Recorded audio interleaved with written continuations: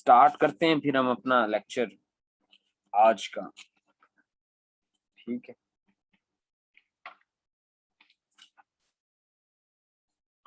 आज का जो लेक्चर है, वो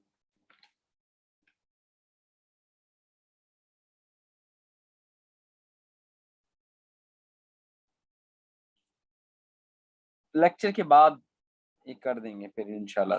इसको हम देख लेते हैं, कोई मसला नहीं।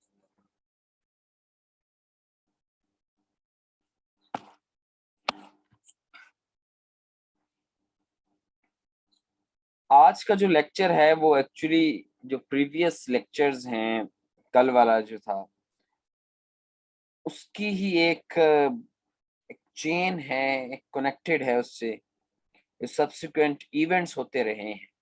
ठीक है?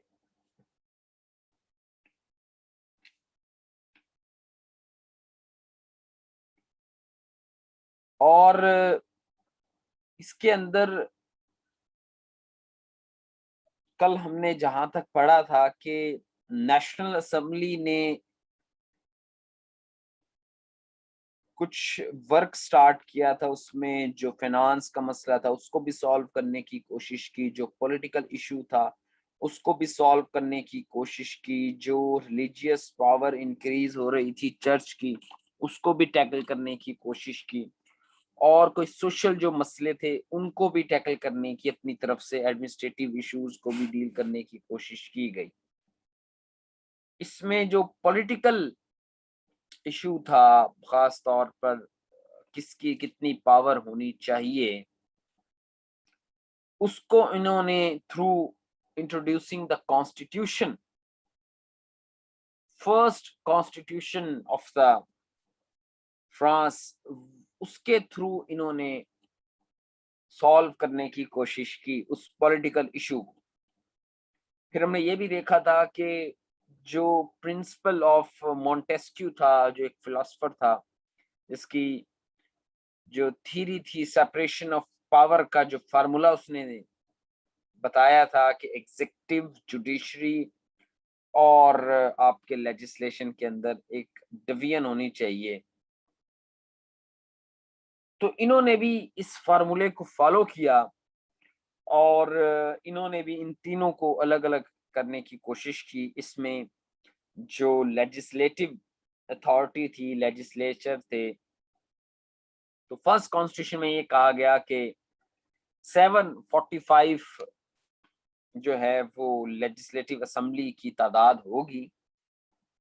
जो फ़र्स्ट लेजिस्लेटिव असेंबली बनेगी यानी कि तरीकेकार जो होता है ना, वो यही होता था। आप पाकिस्तान स्टडीज़ में देखेंगे कि जो कॉन्स्टिट्यूशन असेंबली होती थी, जब वो अपना आइन बना लेती थी तो वो ऑटोमेटिकली खत्म हो जाती थी।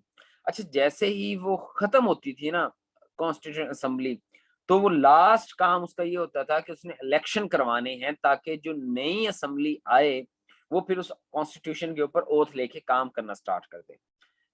यहाँ भी इसी तरह ही होगा कि आपकी जो कॉन्स्टिट्यूशन असेंबली है, वो डिसॉल्व हो जाएगी और वो जो कॉन्स्टिट्यूशन दे के जा रही है, उसके अकॉर्डिंगली उतनी सीटों के ऊपर इलेक्शन हो जाएगा। ठीक है? तो लेजिस्लेटिव असेंबली का जो है, वो उन्होंने कहा कि तादाद जो है, वो सेवन फोर्टी फाइव होनी चाहिए। ठीक है? और, वो तादाद, उन्होंने कहा कि फर एक चैम्बर की होगी, यानी कि दो हाउसेस नहीं होंगे हमारे यहाँ। जिस तरह हाँ पाकिस्तान के है ना, दो हाउसेज हैं, एक सेनेट है, एक नेशनल असम्बली वहाँ पर एक ही हाउस होगा। और उसने कहा कि वो लेजिस्लेटिव असम्बली का नाम दिया, ठीक है? और 745 उसके मेंबर्स होंगे, उसके इलेक्शन होंगे। और वो दो साल के लिए आएगी। ठीक है जी? गुड हो गया। और अब सवाल ये था कि वोट का हक किसको होगा? कौन आदमी वोट दे सकता है? क्या सब लोग वोट दे सकते हैं? तो ऐसा नहीं था। ऐसा नहीं था कि ये सेवन फोर्टी फाइव लोगों को इलेक्ट करना है, वो सब आम जनता जितनी भी है, वो सारे वोट देंगे। ऐसा नहीं था। सिर्फ़ वो लोग वोट देंगे जो टैक्सेस दे सकते हैं। एक खास किस्म का लेबल होता था क्या आपने ना इतना अगर स्पेसिफिक टैक्स दिया हो, दिया है और उसके पास उसकी उसकी जो रसीद है, उसकी जो प्रूव है वो आपके पास है या इतनी जो है वो प्रॉपर्टी आपके पास है, तब आप जाके जो है वोट दे सकते हैं। इसी तरह जो लेजिस्लेटिव मेंबर्स थे, उनके लिए भी कुछ रिस्ट्रिक्शंस थी। हर कोई नहीं खड़ा हो सकता था। बल्कि खास किस्म के लोग जो कि इतनी प्रॉपर्टी रखते हों और इतना टैक्स देते हों, वो जो है लेजिस्लेटिव असेंबली के अंदर एंटर हो सकते हैं। यानी कि वोटर्स के ऊपर भी रिस्ट्रिक्शन है और लेजिस्लेटर बनने के ऊपर भी रिस्ट्रिक्शन है। अब जो एग्जेक्टिव अथॉरिटी का मामला था तो इन्होंने तो एग्जेक्टिव अथॉरिटी जो है वो कहा कि किंग के पास होनी चाहिए। अभी किंग को जो है उन्होंने कत्ल नहीं किया था, यानी कि अभी किंग जो है वो अपनी हालत में बैठा था। जो लास्ट टाइम मैंने बात की थी, वो जरा इवेंट्स आगे आएँगे कि उन्होंने वो भागने की कोशिश की, पकड़ लिया फिर, ठीक है? तो ये जब कॉन्स्टिट्यूशन बना रहे थे, उसके अंदर किंग की इन्होंने क्या किया किंग के साथ के किंग को एग्जेक्टिव पावर दी कि आप जो है ना एग्जेक्टिव ऑर्डर्स वॉर करनी है, नहीं करनी कोई भी जरा वर्क करना हो लेजिस्लेटर्स का, उसके अंदर आपकी कितनी इंटरफेरेंस होगी तो वो उन्होंने काफ़ी पावर्स किंग को भी दे दी। कॉन्स्टिट्यूशन को भी रखा लेजिस्लेटिव असेंबली को भी इलेक्ट करके लेकर आए, लेकिन स्टिल जो है वो एग्जेक्टिव पावर किंग को दे दी। ठीक है? और जुडिशरी मैंने बताया था कि जुडिशरी के जो जजेस हैं, आपके बॉयज़ वो भी इलेक्ट होते थे। टू टू फोर इयर्स तक के लिए इलेक्ट होते थे। और अब इसके अंदर जो बेसिक चेंजिंग की गई थी, वो ये थी कि पहले जो जज होता था कोर्ट का रॉयल कोर्ट्स हैं, आपकी मिलिट्री कोर्ट्स हैं, उनके जितने भी जजेस होते थे, उनके पास जो भी इनहेरिटेंस मिलती थी उनको थ्रू द गवर्नमेंट वो नीचे जो है, वो फिर अपनी इनहेरिटेंस नीचे दे देते थे और इस तरह वो उनकी जो फैमिली है, वो आहिस्ता आहिस्ता रूल करती रहती थी। तो उन्होंने ये सिस्टम खत्म कर दिया कि जो भी इनहेरिटेंस होगी उसकी पोजीशन की वजह से उसको कोई घर मिलेगा, ठीक है, कोई गाड़ी मिलेगी या कुछ भी मिलेगा तो वो उसकी मौत के बाद या उसकी रिटायरमेंट के बाद खत्म हो जाएगी, वो गवर्नमेंट के पास आ जाएगी। पहले क्या होता था, वो उसकी इनहेरिटेंस में चली जाती थी। यानी कि अगर आपको कोई घर मिलता है या कोई भी आपको पोजीशन की वजह से कोई चीज़ मिलती है गवर्नमेंट की तरफ़ से तो वो आपकी नहीं होगी अब, ठीक है। ये चीज़ें बेसिकली उसके अंदर थी।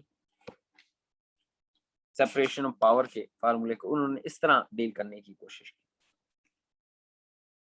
लेकिन ज़ाहिर है ह्यूमन है कॉन्स्टिट्यूशन बनाया है और कॉन्स्टिट्यूशन जिस तरह बना है, एक मॉब के फॉर्म में लोग इकट्ठे हो गए थे और उन्होंने कहा कि हम जो है कॉन्स्टिट्यूशन बनाएँगे तो उसके अंदर प्रॉब्लम्स तो आएँगी।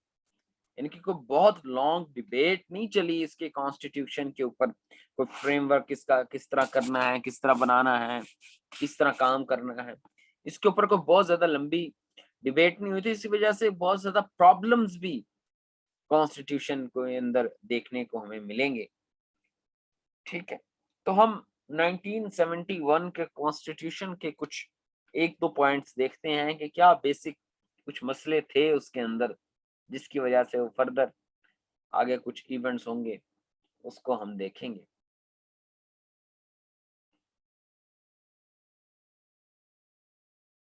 एक जो सबसे बड़ा मसला था, वो ये था कि जो लेजिस्लेटर्स हैं, जो लेजिस्लेटर लेजिस्लेटिव असेंबली के मेंबर्स हैं 745 वो लोग और जो एग्जेक्टिव है, यानी कि किंग है, और उसके साथ जो भी उसके कोई मिनिस्टर्स हैं, उनकी पावर्स बहुत ज़्यादा स्ट्रिक्टली सेपरेट थी। यानी कि उन्होंने ये जो फार्मूला है मॉन्टेस्क्यू का, बहुत ज़्यादा स्ट्रिक्टली उन्होंने फॉलो किया, जिसकी वजह से जो पावर शेयरिंग जो है, वो बहुत ज़्यादा स्ट्रिक्ट हो गई थी, जिससे वर्किंग बहुत ज़्यादा डिफ़िकल्ट हो गई थी।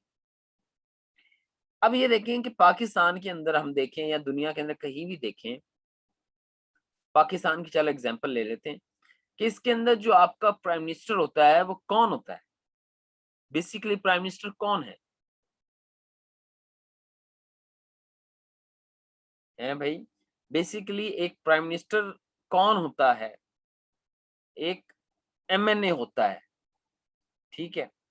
एमएनए होता है एक प्राइम मिनिस्टर ठीक है एमएनए का मतलब लेजिस्लेटिव असेंबली का मेंबर लेजिस्लेटर होता है वो खुद इटसेल्फ अच्छा जब वो प्राइम मिनिस्टर बनता है और वो अपनी कैबिनेट बनाता है तो उसको हम कहते हैं कि वो चीफ एग्जेक्टिव बन गया यानी कि वो चीफ एग्जेक्टिव तो है ही, ठीक है? और अपने साथ जो उसकी कैबिनेट है, वो एग्जेक्टिव है।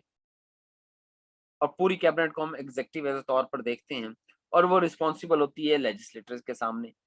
यानी कि उसी लेजिस्लेटिव असेंबली से ही कुछ पर्सन उठकर एग्जेक्टिव को बनाते हैं हेड ऑफ़ द एग्जेक्टिव को डील करते हैं। ठीक है? एग्जेक्टिव ये जितने भी आपकी ब्यूरोक्रेसी इसको ज़ाहिर है हर डिपार्टमेंट के ऊपर एक मिनिस्टर बैठा होता है। मिनिस्टर क्या होता है? वो कैबिनेट का एक मेंबर होता है और कैबिनेट का मेंबर कौन होता है? जो आपका एमएनए हो या सेनेट से हो ठीक है? तो लेजिस्लेटिव असेंबली जो है, उसके अंदर से हमारे यहाँ कैबिनेट यानी कि एक मिक्स ऑफ़ पावर नज़र आती है। एक एक दूसरे के ऊपर काउंटर बैलेंस नज़र आता है। काउंटर चेक नज़र आ रहा है। ठीक है?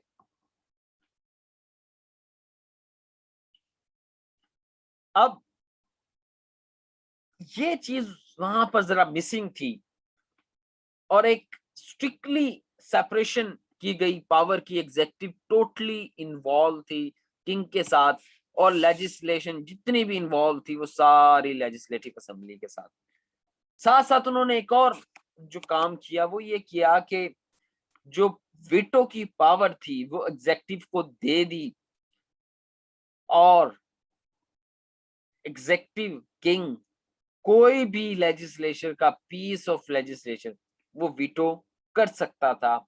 इससे क्या हुआ कि अगर वो कोई भी कानून पास करने की कोशिश करते थे और किंग को पसंद नहीं आता था, अभी हम आगे देखेंगे भी तो उससे क्या होगा? ये प्रॉब्लम स्टार्ट होना स्टार्ट हो जाएगी कि भाई, कि जो डिवीज़न है आपकी, वो वर्क कब करती है जब एक दूसरे के ऊपर काउंटर चेक हो? जब वीटो के ऊपर कोई काउंटर चेक नहीं होगा तो क्या होगा फिर? आपके एक आदमी या एक ब्रांच जो है वो बहुत ज़्यादा पावर को यूटिलाइज करेगी और यहाँ पर भी यही हुआ। ठीक है? यानी कि किंग जो है उसको वीटो पावर दी गई, एग्जेक्टिव पावर दी गई और उसके ऊपर कोई खास किस्म का चेक नहीं रखा गया थ्रू लेजिस्लेचर या लेजिस्लेटिव असेंबली कोई इतनी पावर होती, जिससे ये प्रॉब्लम स्टार्ट हुआ। तो ये एक कॉन्स्टिट्यूशन के अंदर ये भी एक प्रॉब्लम था। फिर इन्होंने अभी तो ये लोग को बहुत ज़्यादा स्टेबल नहीं हुए थे। ये लोग कोई बहुत ज़्यादा स्टेबल नहीं हुए थे। फ्रांस जो है वो बहुत ज़्यादा स्टेबिलिटी की तरफ़ नहीं गया था पॉलिटिकल खास तौर पे।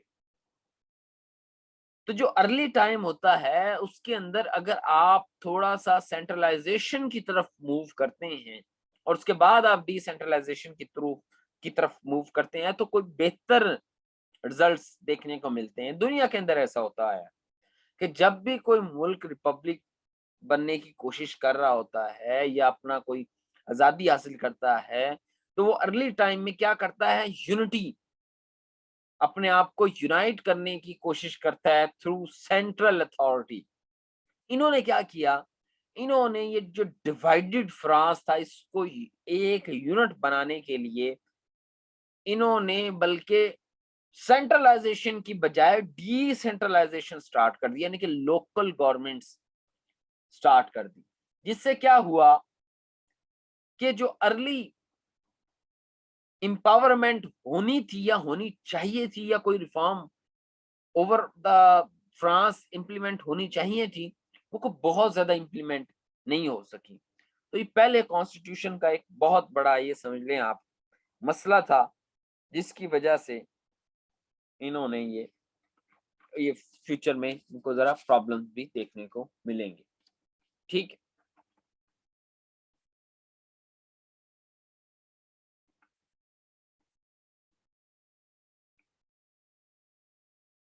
ज़ाहिर है नेशनल असेंबली अपना काम करके डिसॉल्व हो गई और अब इलेक्शन हुए इलेक्शन हुए तो 745 जो मेंबर्स हैं, ठीक है 745 जो मेंबर्स हैं लेजिस्लेटिव वो इलेक्ट हो गए। अब नेशनल कॉन्स्टिट्यूशन असेंबली जो कॉन्स्टिट्यूशन असेंबली थी वो हो गई, खत्म, जिसने आइन देकर और बाकी जो छोटे मोटे फ्यूडलिज्म को जिस तरह खत्म कर दिया declaration of the rights of man दे दिए, ठीक है जी फाइनेंस के ऊपर दे दिए सिविल कोड दे दिए फॉर द क्लर्जी ठीक है। इस तरह के और फाइनेंस को डील करने के लिए जो वर्क किया उन्होंने असाइनमेंट्स को जरा इशू किया पेपर करेंसी जिसको हम कहते थे, वो करना स्टार्ट कर दिए। ये छोटे मोटे काम करके वो साइड पे हो गई। अब जो है वो बेसिकली लेजिस्लेटिव असेंबली वर्क करेगी। यानी कि 1791 के अंदर अपना कॉन्स्टिट्यूशन देकर नेशनल असेंबली आपकी खत्म हो जाती है। कॉन्स्टिट्यूशन असेंबली आपकी खत्म हो जाती है। अब आपके इलेक्शन हुए। इलेक्शन के अंदर 745 मेंबर्स इलेक्ट हुए। उन 45 मेंबर्स ने 745 मेंबर्स ने आपकी लेजिस्लेटिव असेंबली बनाई। ठीक है? अब मज़े की बात यह है। गौर करने वाली बात यह है और ये इन्होंने बहुत बुरा भी किया। लेकिन चलें इन्होंने यही किया। इसका ये खामियाजा भी भुगतेंगे आगे।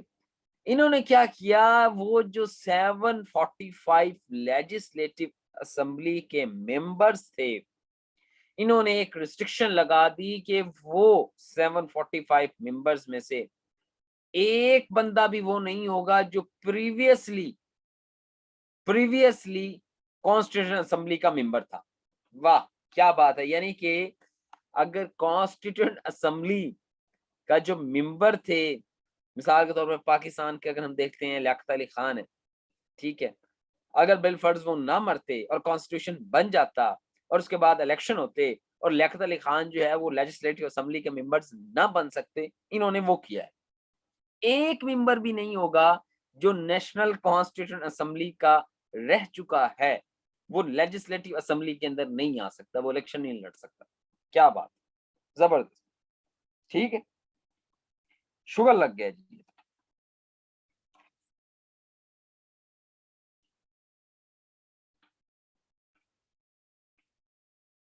ये बात क्लियर हो गई आपको ऑडियो, क्या हुआ ऑडियो को भाई? डिस्टॉर्शन इन ऑडियो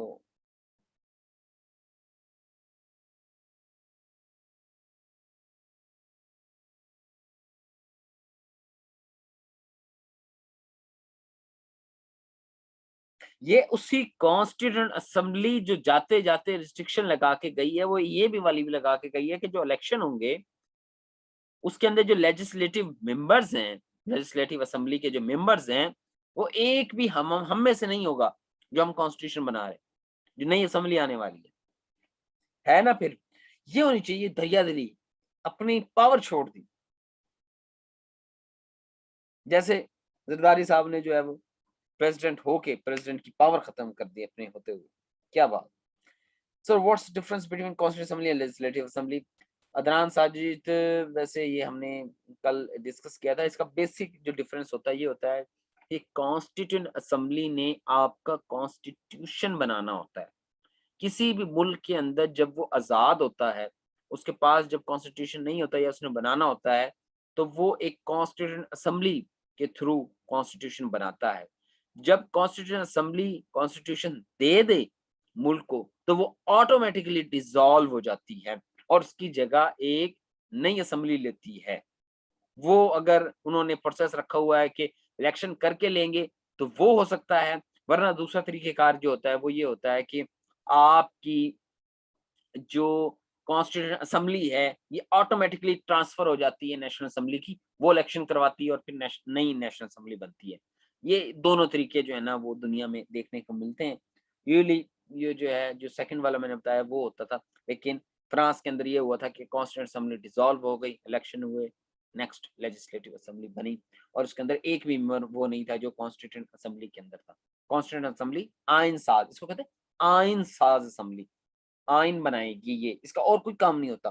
वैसे जब तक आइन नहीं बनता जब तक आइन नहीं बनता तो कॉन्स्टिट्यूशन असेंबली आपकी लेजिस्लेटिव असेंबली भी कहलाती है। इसको आपके बाबा जी ने क्लियर किया था, कायदे आज़म ने।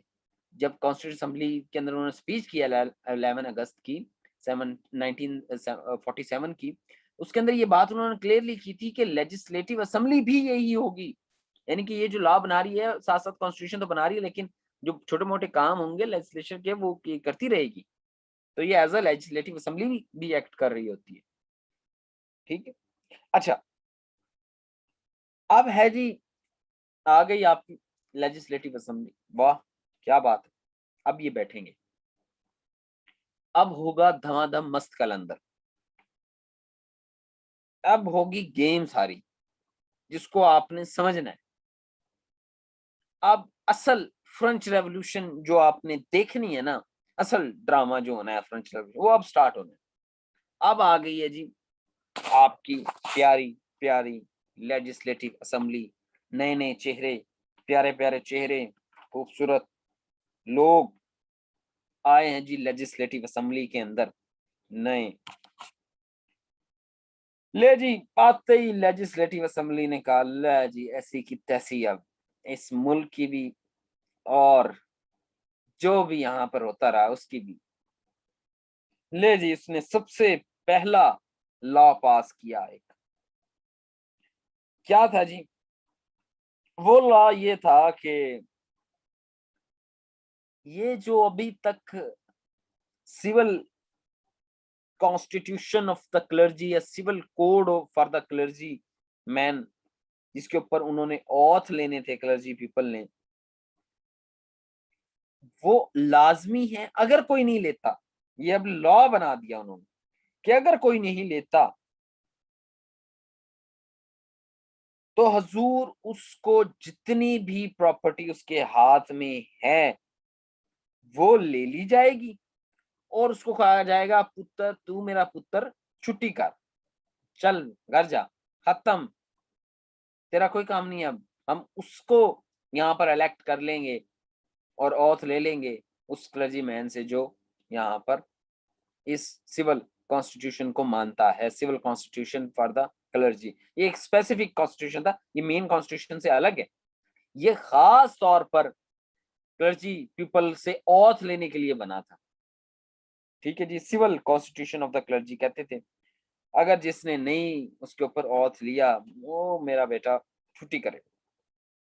बड़ा रिस्ट्रिक्ट था ये उस उस दौर में जब हॉली, रोमन एम्पायर कायम है, उस वक्त ये बातें करना, ये आज तो हमें बड़ा मज़े का लग रहा है। उस वक्त ये काम करना बहुत मुश्किल है।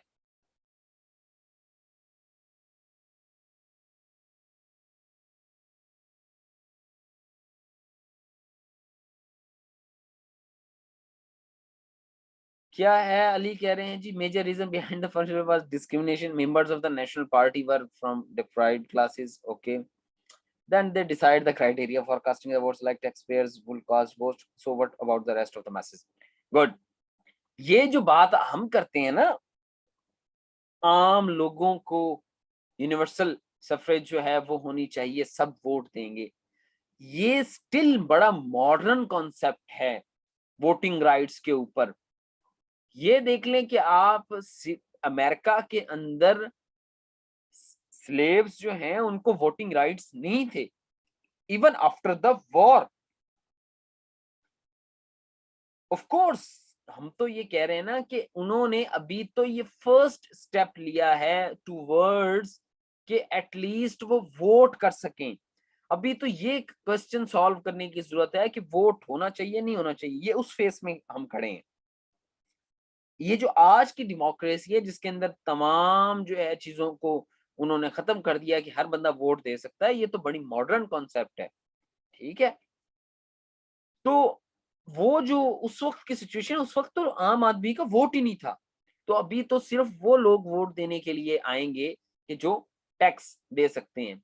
इसके पीछे जो रीजंस देते थे, वो ये देते थे, अभी तो डेमोक्रेसी के अंदर जो भी रीजंस हम देते हैं, वोट की, वो एक अलग है। उस वक्त ये देते थे कि जो आदमी आकिल हो, समझदार हो उसको वोट का हक है, ठीक है? ताकि वो वाइजली चूज़ कर सके अपने आम जो जो भी उसके रिप्रेजेंटेटिव है उनको। उसका, उसको कोई हक नहीं है वोट का जो कि इलिटरेट हो और जिसको चीज़ों का पता ना हो। ये उस वक्त समझा जाता था। आज ये चीज़ खत्म कर दी गई है। तो वो जब 1789 के अंदर बैठे थे दे स्टिल थिंक कि अभी वो लोग वोट करें, जो लोग और ये मेंटेलिटी ओवर द वर्ल्ड थी, ये उनके खास तौर पे फ्रेंच के अंदर नहीं थी ओवर द वर्ल्ड यही थी, कि वो लोग वोट करेंगे जो एक खास किस्म का टैक्स जो है वो देते होंगे और उनकी एक खास किस्म की प्रॉपर्टी भी होगी, इतने साइज़ की प्रॉपर्टी उनके पास होनी चाहिए, तब वो वोट कर सकते हैं। यानी कि ट्रेड पीपल लेकिन कॉमन आदमी में से होगा। अब वो प्रिविलेज क्लास के अंदर से नहीं होगा कि वो बैठे रहेंगे और खुद ही अपनी पावर बढ़ाते रहेंगे। एटलीस्ट इन्होंने एक स्टेप मूव तो हुए कि इलेक्शन करवाए और लिटरेट पीपल 18 प्लस वाले वो वोट दे सकते हैं। नेक्स्ट स्टेप ये होगा, दुनिया के अंदर यही होता है कि इवॉल्व होंगे, इसके ऊपर क्रिटिसिज्म आएगा और उन्होंने फिर आहिस्ता आहिस्ता जो है नेक्स्ट की तरफ़ मूव हुआ। उन्होंने कहा कि यूनिवर्सल सफरेज होनी चाहिए। उन लोगों का क्या कसूर है जो लिटरेट नहीं है? ठीक है, ये तो स्टेट की ज़िम्मेदारी थी कि उनको पढ़ाना था। स्टेट ने अपनी ज़िम्मेदारी पूरी नहीं की तो आप उनसे वोटिंग राइट्स भी छीन रहे हैं। तो आप उनको वोटिंग राइट्स दें। ठीक है, ये तो एक मॉडर्न कॉन्सेप्ट के तौर पर आते रहे। ये ओवर द वर्ल्ड जो है, आती रही ये वाला सिस्टम और ये इवॉल्व भी होता रहा आहिस्ता आहिस्ता। अच्छा अब लेजिस्लेटिव असेंबली जो है, उसने दूसरा लॉ पास किया और उसने कहा कि मेरे पुत्रों, मेरे प्यारे लोगों सारे नोबल्स और सारे क्लर्जी मैन या कोई भी प्रिविलेज क्लास का बंदा जो आफ्टर द रेवोल्यूशन इस मुल्क को छोड़कर चला गया और फॉरेन हेल्प के लिए डिफरेंट कंट्रीज़ के अंदर गया, उसको वार्निंग है।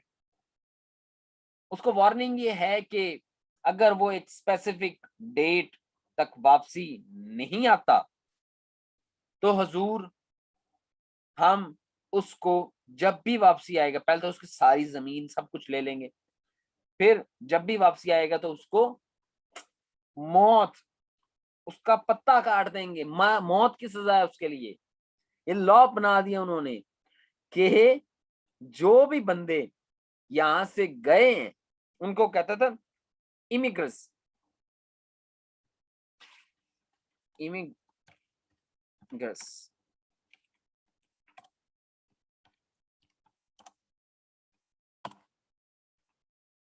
एमिग्रेस एमिग्रेस जो हैं वो वो लोग होंगे जो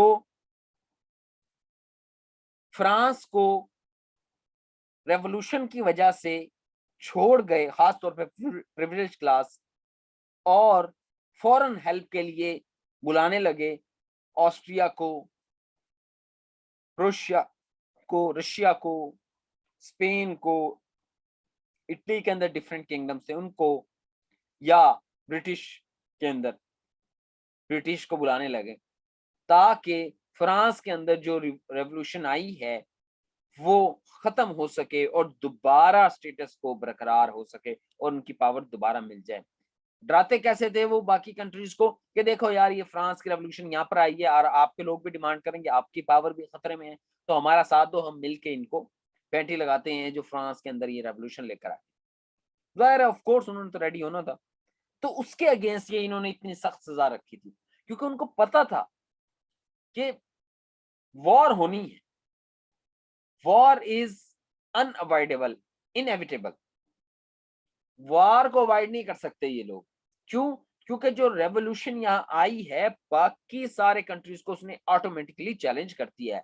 आज नहीं तो कल वहाँ की आवाम भी बोलेगी। तो इसका एक सोल्यूशन क्या है कि या तो ये चलने दिया जाए।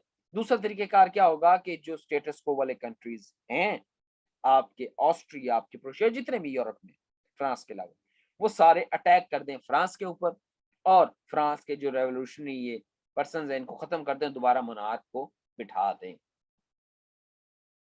तो दूसरे वाला तरीकेकार यहाँ पर इम्प्लीमेंट होगा और फिर आगे वॉर्स होती रहेगी, वो हम देखते हैं। ले जी, जैसे ये दो लॉ पास किए, आपका किंग बेचारा सोया हुआ था, उसको उठाया। उसको उसको एग्जेक्टिव मेंबर्स ने उठाया, जाके सोया हुआ था। उसको कहा, ओ मामा, ये दो ला पास हो गए हैं। वो तेरे आधे बंदे तो अब मुल्क में आ नहीं सकते। मुल्क में आए तो उनको भाई मार देंगे, ठीक है? तो अब क्या कर रहे हैं? वो नींद में था, उठा, उसने पानी पिया, उसने कहा, यार, वीटो कर दो। वो एग्जेक्टिव थी और लेजिस्लेटिव असेंबली वाले, वो एक्सपेक्ट नहीं कर रहे थे ये वीटो पावर किंग से।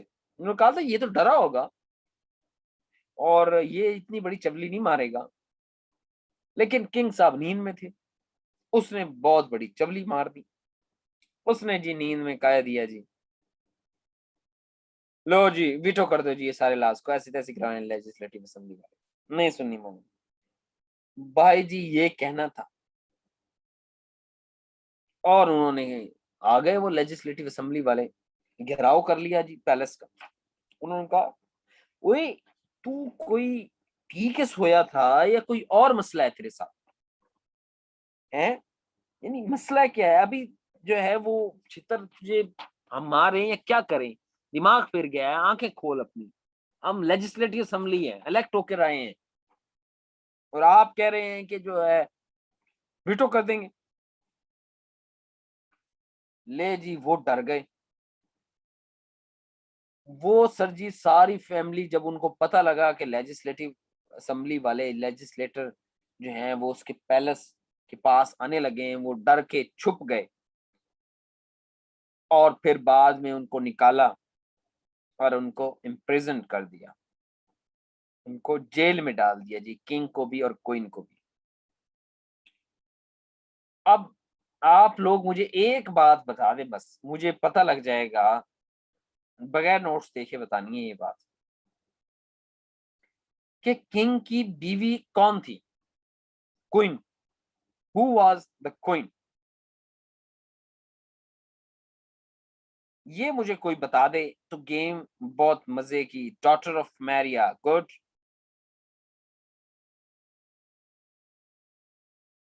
क्या नाम था इसका? ऑस्ट्रिया क्वीन डॉटर ठीक है गुड गुड बच्चे जाग रहे हैं इसका मतलब ये। क्या बात है। बस आपकी हिस्ट्री हो गई है, ये समझे आपको समझ आ गई ये चीज़ों ले जी, क्वीन ने जब जेल में बैठे थे, किंग को कहा, देखो, मेरी अम्मा जी जो है, वो रूल करती रही है उधर, ऑस्ट्रिया। उसके बड़े लिंक है उधर। क्यों ना मैं जरा कोई छुप छुपा के एक खत भेजूं ऑस्ट्रिया को तो वो लाजमी आएँगे मुझे बचाने। किंग ने कहा हाँ हाँ यार, मुझे तो याद आया तू तो बहुत बड़ी औरत है। मुझे तो पता नहीं था। मैं तो तुझे एम पागल समझता रहा। ये काम कर।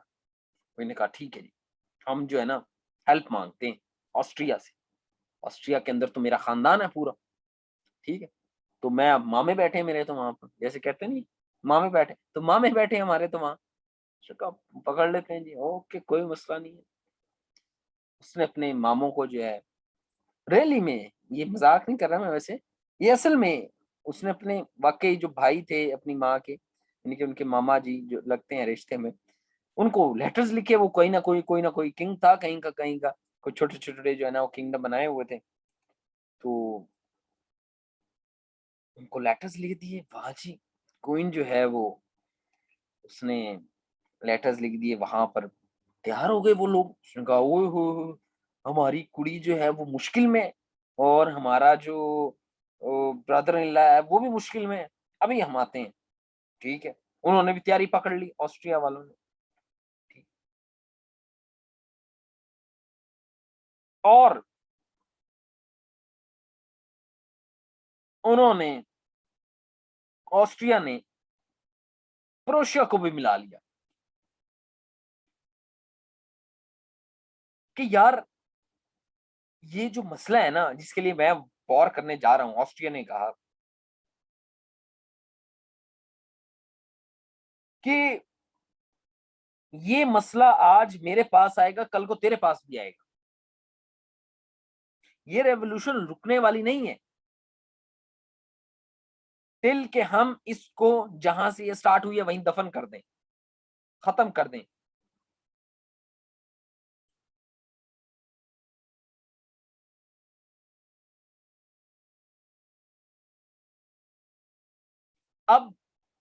क्या हुआ कि प्रोशिया और ऑस्ट्रिया ने डेक्लेरेशन दे दी। उसको कहते थे डेक्लेरेशन वार्निंग जिसको हम कहेंगे। फ्रांस को डेक्लेरेशन दी। डेक्लेरेशन ऑफ़ पेलेट्स इसको कहते हैं डेक्लेरेशन ऑफ़ पेलेट्स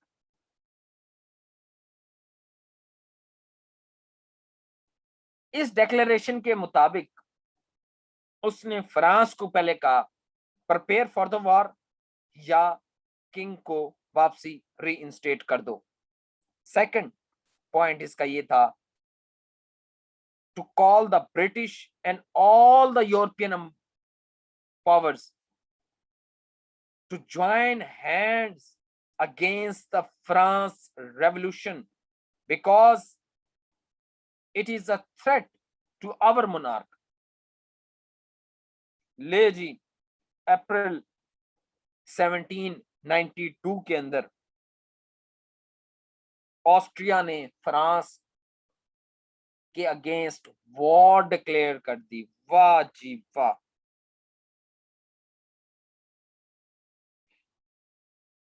अब फ्रांस जो है वो आपका बॉय, वो तो अकेला था। और एक और बहुत बड़ा मसला फ्रांस के अंदर, ड्यूरिंग जब उन्होंने वॉर डिक्लेयर किए वो ये था कि फ्रांस जो है, उसके अंदर दो ग्रुप बन गए थे। 1792 अप्रैल 1792 सत्रह बानवे, अप्रैल।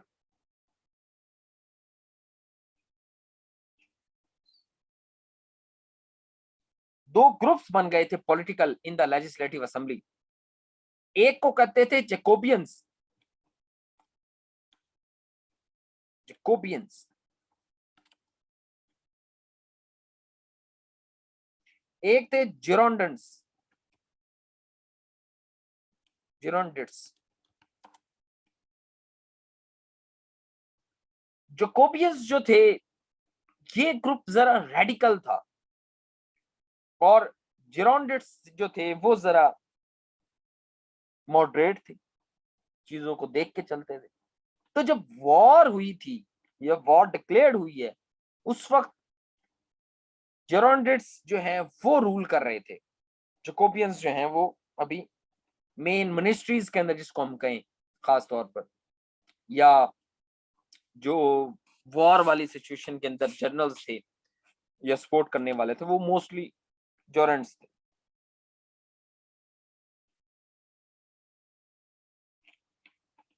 ठीक है। अब जी वॉर स्टार्ट हो गई।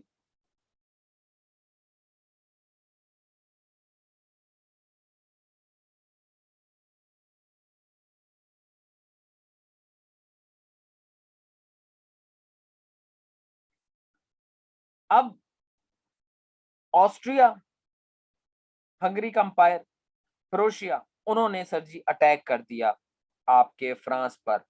और फ्रांस जो है वो वार, आहिस्ता आहिस्ता हार रहा।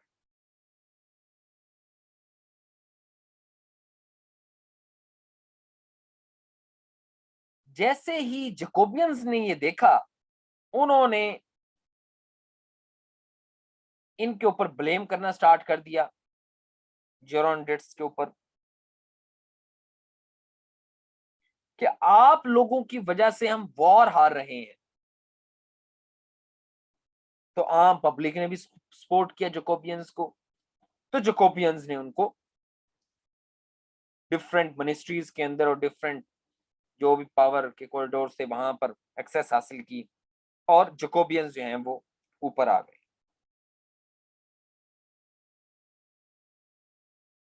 उन्होंने कहा, हम आपको बताते हैं कि किस तरह वॉर लड़नी उसने कहा, उनका एक बंदा था जुकोबियन का, डेंटॉन, उसको कहते थे डेंटॉन। डेंटन। ये बंदा बड़ा रेडिकल था। उसने कहा, यार, ये वॉर ना इस तरह नहीं हम लड़ेंगे। इसको हमने दो तरीके से लड़ना है। एक हमने एनिमी से लड़ना है, जो हमारा सामने खड़ा है, और एक हमने इंटरनल एनिमी से लड़ना है, जो हमारे मुल्क के अंदर है। जी, वो कैसे? उसने कहा, सबसे पहले तो ये कॉन्स्टिट्यूशन खत्म करो ना, ये क्या कॉन्स्टिट्यूशन आपने बनाया? ले जी कॉन्स्टिट्यूशन कहा उसने। उसने कहा, नया कॉन्स्टिट्यूशन लाएँगे वाह! ये खत्म करो, ये बड़ा सादा कॉन्स्टिट्यूशन है। इसके अंदर रेडिकल और वो चीज़ें नहीं है जो ज़रूरी है इस वक्त to stop the enemy terrify the royalist. Audacity, more audacity, and always greater audacity. उसने कहा कि जितने भी रॉयल फैमिली के मेंबर्स हैं फ्रांस के अंदर सबको मार दो, खत्म कर दो। और हर एक उस पर्सन को मार दो जो फ्रांस की रेवोल्यूशन के बारे में और उसके इम्पैक्ट के ऊपर जरा बराबर भी शक करता हो तो उसका सर कलम कर दो, खत्म कर दो। It will terrify the world people and the enemy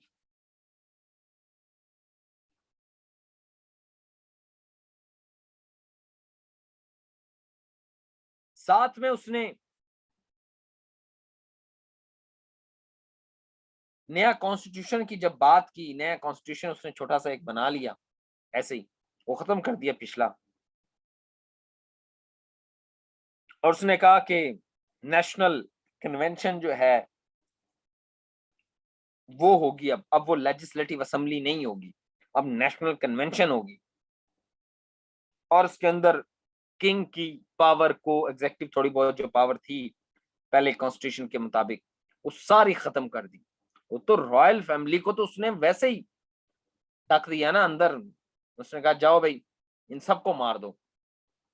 और जो भी इस, इनके साथ देता है, ये कभी रहा भी हो इनके साथ, उसको भी मार दो। इस चक्कर में उसने किंग को पकड़ा। ये जो पिक्चर आपके सामने है, ये किंग साहब को लंबा पा लिया जी उन्होंने, ठीक है? और वो जो मशीन है ये, इसको, इसके अंदर ना ये स्लॉटर करते थे, गर्दन काटते थे।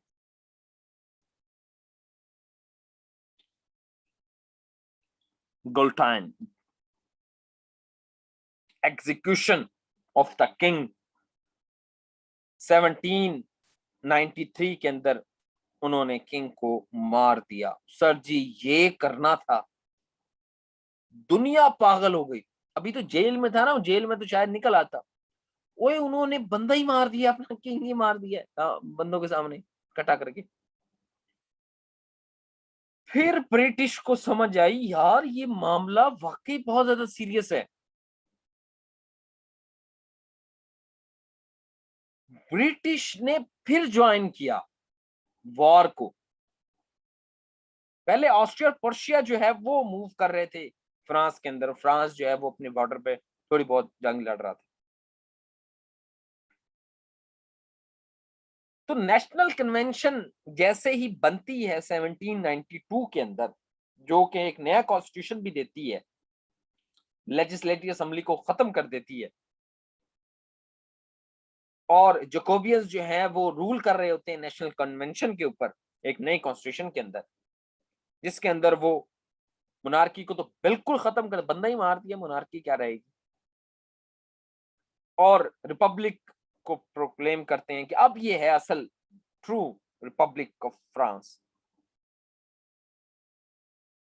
king को मारा, नौ महीने बाद जो है, नौ दस महीने बाद, तकरीबन साल बाद उसने को इनको भी लटका दिया। यानी क्वीन भी मार दी इन्होंने भाई। ये अगली तस्वीर क्वीन की होगी शायद। ये क्वीन आ रही है। क्वीन को जो है ना उन्होंने एग्जीक्यूट कर दिया।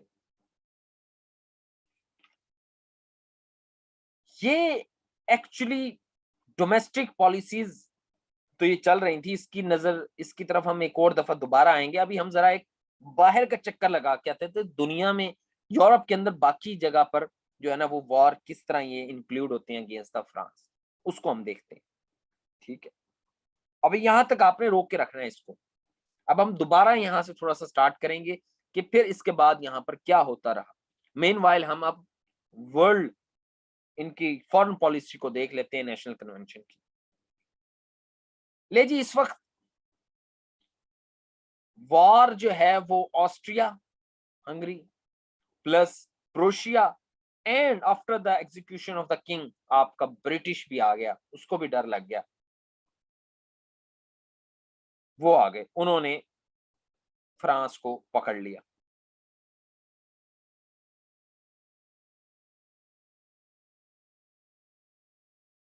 उन्होंने कहा कि भाई, ये मज़ाक चल रहा है, ये क्या हो रहा है भाई? एक मिनट में जिस बात बदल दी है, हालात बदल दिए, भाई बंदा ही मार दिया तुम लोगों ने एक मिनट में। हम तो सोचे थे कोई शायद ले दे के काम चल जाएगा।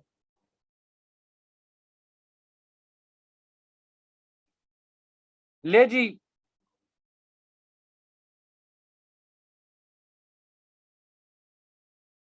आपके फ्रांस जो है वो नेशन इन आर्म्स का नारा लगा के वो आ गया और उसने कहा, अब हम जो है, सबकी ऐसी की तैसी फेरेंगे। और यही वो मूवमेंट है, जब फ्रांस ट्रूली अपनी रेवोल्यूशन को बचाने के लिए फॉरेन पॉलिसीज़ जो हैं वो अपनाता है। उसने ब्रिटिश को पकड़ा, जो कि इस वॉर को सब्सिडाइज कर रही थी। यहाँ पर एक और चीज़ मैं आपको, एक सिंपल सी चीज़ मैं आपको बताता चलूँ, ये आगे हम आज देखेंगे भी। वो ये है कि जैसे ही फ्रांस के अगेंस्ट वॉर डिक्लेयर करते हैं, ये ऑस्ट्रिया और प्रोशिया, और फिर जब ब्रिटिश इसको ज्वाइन करता है, इसको कहते हैं कि क्वालिशन अगेंस्ट द फ्रांस ये तकरीबन तकरीबन जो है वो more than five times coalition जमा होगी। एक तरफ़ फ्रांस होगा, बाकी सारी कंट्रीज़ होंगे। वो बार बार जंग कर रहे होंगे। ये चलती रहेगी जंग एटीन सेंचुरी के एंड तक, ठीक है जी? ये सारी 1792 से स्टार्ट होगी। डिफरेंट टाइम पर डिफरेंट कॉलेशन बनती जाएँगी और वो वॉर करती रहेंगी। एक चीज़ बस इसमें कॉमन होगी, बल्कि दो चीज़। एक तो ये कि फ्रांस के अलाइज कोई नहीं होंगे। अकेला लड़ रहा होगा और बाकी सारा यूरोप उसके खिलाफ होगा। दूसरी चीज़, तमाम यूरोप की वार को जो पैसे और वेपन्स फ्राहम करेगा कंट्री वो है ब्रिटिश यानी कि ब्रिटिश ये कहेगा बाकी कंट्रीज़ को फिर आगे।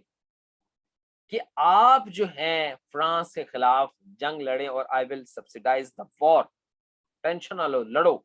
इन्होंने यार किंग को मार दिया है। यार, ये कुछ तमीज है? काम करने वाला है ये। अब नेशनल कन्वेंशन ने क्या किया हुआ था कि घर के अंदर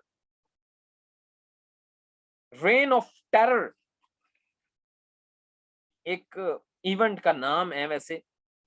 होम पॉलिसी के अंदर उनकी domestic policy during the war उन्होंने एक पॉलिसी इनिशिएट की जोकोबियंस ने। ठीक है नेशनल कन्वेंशन के ऊपर वही रूल कर रहे थे। उन्होंने एक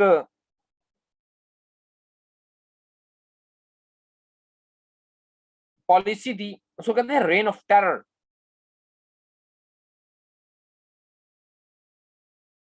इस पॉलिसी के मुताबिक ये पॉलिसी चली है तकरीबन एक साल 1793 से लेकर 1794 तक।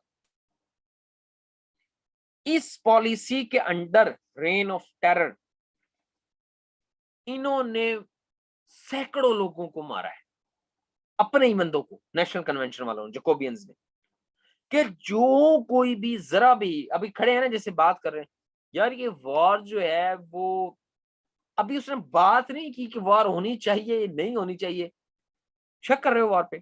स्पाइस का एक जाल बिछा दिया था मुल्क में कोई भी ये बंदा कहीं वहीं उसको मार दो। इसको कहते हैं reign of terror bloodiest movement या sorry picture of the France revolution that is called reign of terror इन्होंने अपने बंदे इतने मारे हैं इसके अंदर। कोई भी होता था। इसको लीड कर रहे थे रॉब्सपरी कैरनोट ये दो बंदे थे। बाद में इनको भी जरा एग्जीक्यूट करेंगे फिर ये।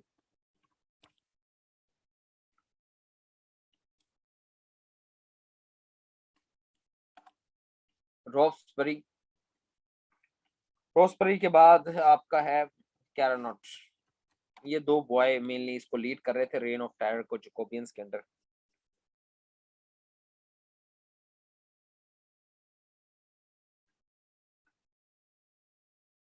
साथ साथ नेशनल कन्वेंशन ने डेंटोन अभी है बॉय डेंटोन बॉय वो तो वो तो कमांडर है जी. वो तो इनको कह रहा है, ये काम करो. मेन काम वो कर रहा है नेशनल कन्वेंशन के अंदर बैठ के. सुप्रीम एग्जेक्टिव अथॉरिटी उसके पास है डेंटोन बॉय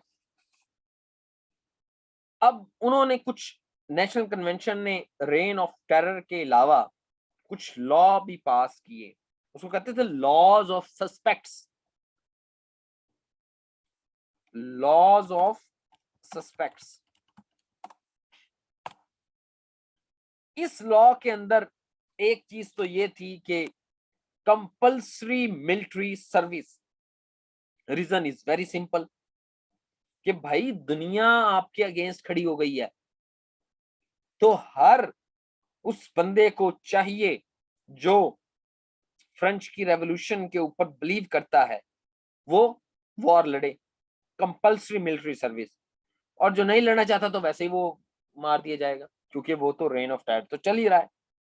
तो ऑटोमेटिकली लोग आना स्टार्ट हो गए भाई, कि भाई अगर ना की तो इसका मतलब क्या है? कि हम लड़ना नहीं चाहते, यानी कि वॉर के ऊपर शक है आपको, काट तो करते फिर क्योंकि इन्होंने पूरी कौम को इकट्ठा करना था अगेंस्ट द यूरोप तो इन्होंने एक खास पेट्रियोटिक लॉज भी पास करना स्टार्ट कर दिए। इसी के अंडर आते हैं लॉ ऑफ़ सस्पेक्ट्स के अंदर। पेट्रियोटिक लॉज आप इनको कह सकते हैं।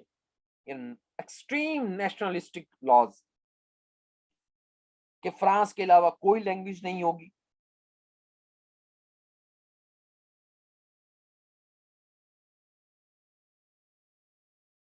रिलीजन जो है वो क्रिश्चियनिटी उन्होंने बहुत बुरी तरह फेंटा उसने कहा, कोई ला, ये कोई रिलीजन रिलीजन नहीं होना चाहिए, आज़ाद फिरो कोई मसला नहीं है। इवन के डी क्रिश्चियनाइजेशन और फ्रांस करना स्टार्ट कर दिया। उसने कहा, क्या इन्होंने तमाशा बनाया हुआ लोगों को मुल्क के लिए खड़ा कर, मुल्क के लिए लड़ेंगे क्यों किसी और मुल्क के अंदर वो अंपायर वो बाबा बैठा है, तुम्हारा प्रीस्ट उसकी तुम मात मान रहे हो। अपने मुल्क के लिए लड़ो यार।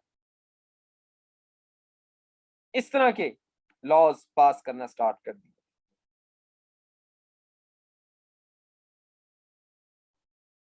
फिर कुछ छोटे मोटे लॉज उसमें वुमेन का प्रॉपर्टी का राइट देना स्टार्ट किया। और कोई जो वेट सिस्टम होता है, नाप तोल नापना, तोलना, ये किस तरह है? ये जरा स्टार्ट कर दिया इन्होंने।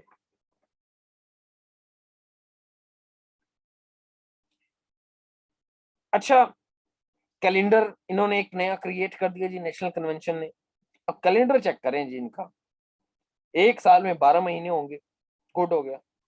अभी अपना कैलेंडर बना लिया जी इन साहबजादों ने। एक साल में कितने महीने? बारह महीने। गुड एक महीने में तीन हफ़्ते होंगे, चार हफ़्ते नहीं होंगे। वाह, क्या बात। एक हफ़्ते में दस दिन होंगे। क्या बात है। और हर दसवें दिन हॉलीडे होगी। और हर साल के एंड में पाँच से छह दिन नेशनल हॉलीडेज होंगे। और ये स्टार्ट होगा आपके बाईस सितंबर से, इन्होंने कहा कि हम स्टार्ट कर देते हैं। सेवनटीन नाइनटी टू से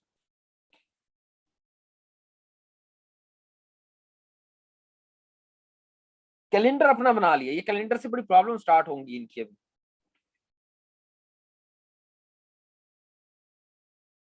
फिर उन्होंने वो जो कन्फिस्केट की हुई थी प्रॉपर्टीज़ वो इन्होंने नेशनल कन्वेंशन ने अपने अंडर कर ली कि यार लोगों को क्या करनी है देख के भाई, हमारे पास होनी चाहिए, ताकि हम वहाँ से उनको यूज़ कर सकें।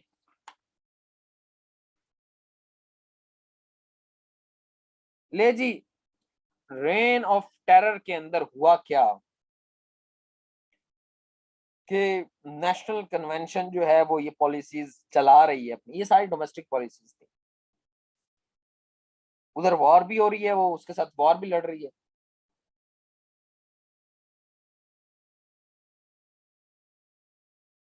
और साथ साथ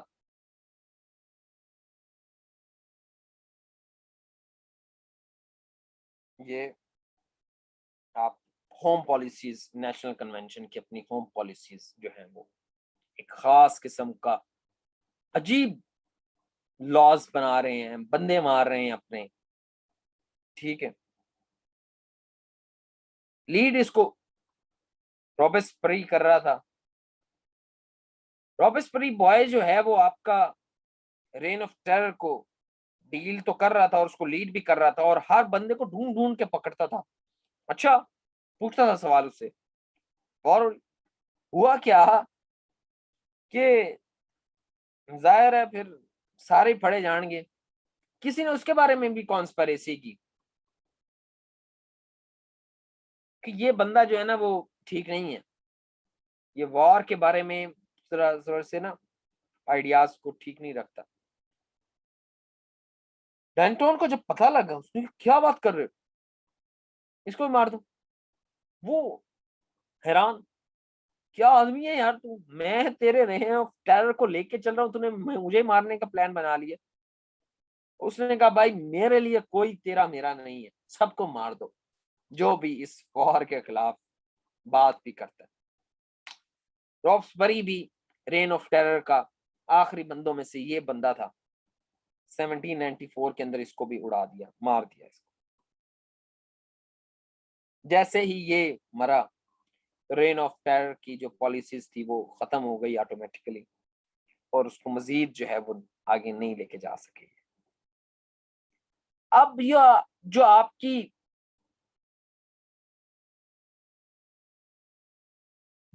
आपका वो है नेशनल कन्वेंशन है, उसने आते ही कहा था कि पिछला कॉन्स्टिट्यूशन खत्म कर दो, नया कॉन्स्टिट्यूशन लेके आए तो वो नया कॉन्स्टिट्यूशन लेकर भी आए।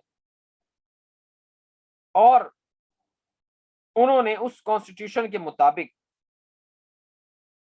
दो हाउसेस बनाए। यहाँ तक बात समझ आ गई है। मुझे ये बता दें, बस।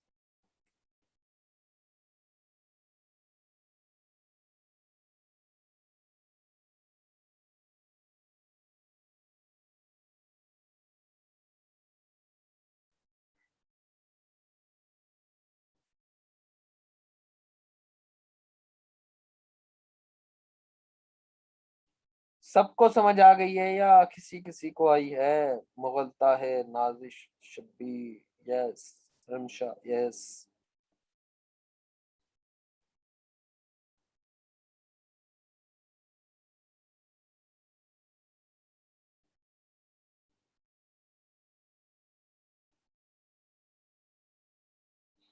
अच्छा अब जी, नया कॉन्स्टिट्यूशन उन्होंने दिया जी आपका। उस कॉन्स्टिट्यूशन के मुताबिक दो हाउसेज होंगे।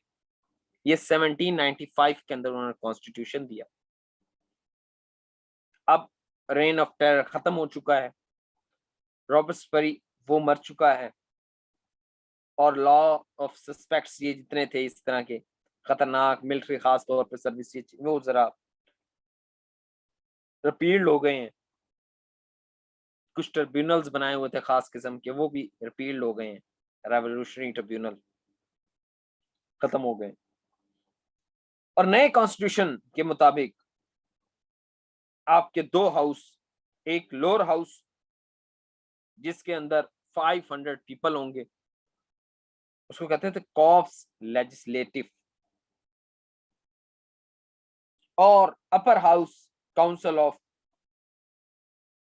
ancients lower house के अंदर 500 and the upper house the council of ancients उसके अंदर 250 लोग होंगे।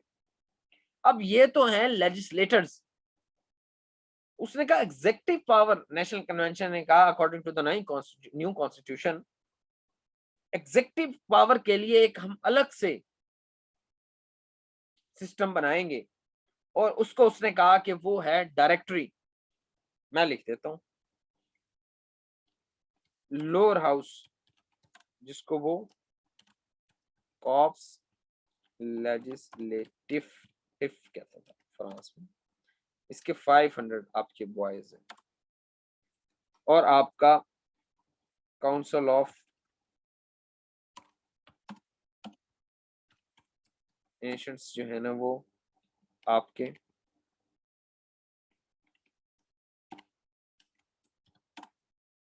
टू फिफ्टी है। ठीक है। ये हैं आपके लेजिस्लेटर्स अब आएगी आपकी एग्जेक्टिव पावर एग्जेक्टिव पावर उन्होंने कहा according to the new constitution of 1795 it should be under the directory एक डायरेक्टरी होगी। अच्छा जी डायरेक्टरी क्या है? उसने कहा डायरेक्टरी एक काइंड ऑफ़ कैबिनेट है, जिसके अंदर पाँच लोग होंगे। उसने नाम कहा कि फाइव डायरेक्टर्स अच्छा ये कहाँ से आएँगे? उसने कहा कि ये लेजिस्लेटर्स सिलेक्ट करेंगे। या वो सिलेक्ट करेंगे, इसके अंदर कौन पाँच लोग आएँगे?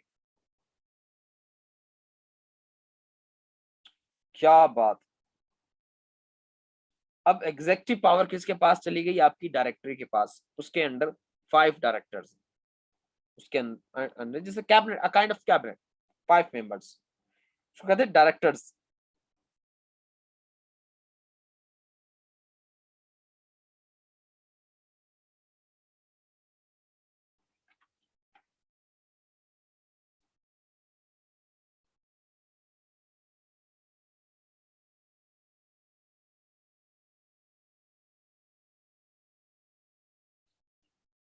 अच्छा।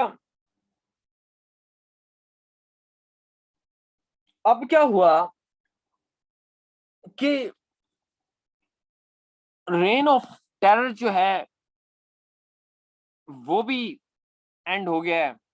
आपके बड़े बड़े लोग, आपकी क्वीन आपका किंग आपके और भी जो काफ़ी सारे जो जोकोबियंस के अगेंस्ट थे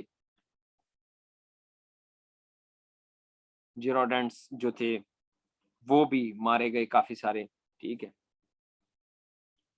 और सिस्टम जो है ना, वो बड़ा एक खतरनाक लेवल पर पहुँच गया। अब यहाँ से हमने स्टार्ट करना है आपकी पॉलिटिक्स ऑफ़ डायरेक्टरी, जिसने तहस नहस कर दिया सारा system.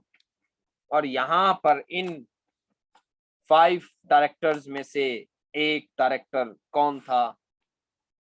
Guess the name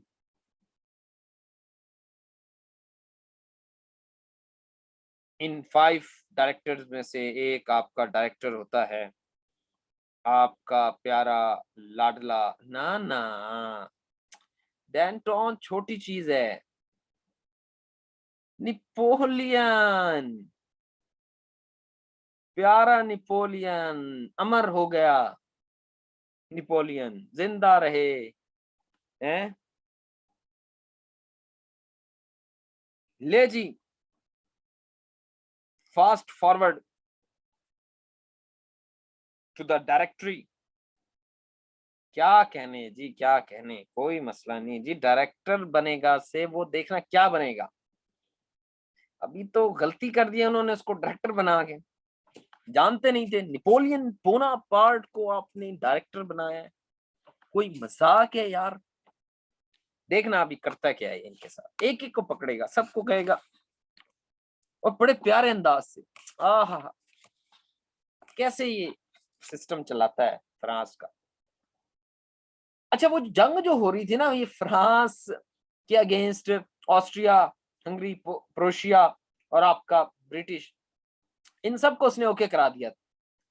Napoleon से पहले फ्रांस ने उनको ओके करा दिया था, अभी नेपोलियन ने एक नए एंगल से आना है।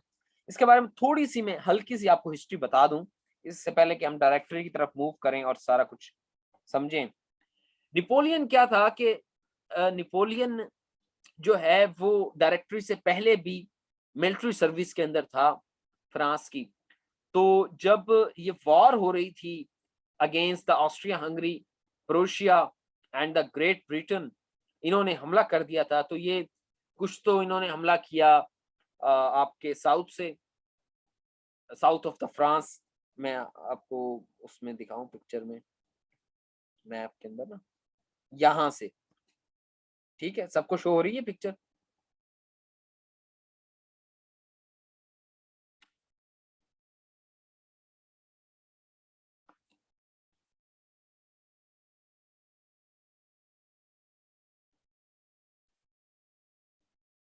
हाँ जी, अली, असल में सिस्टम ये है कि these are the criticism on the French revolution ऐसा नहीं हो सकता कि जो, जिस काज के लिए आप उठे हो, वो काज जो है वो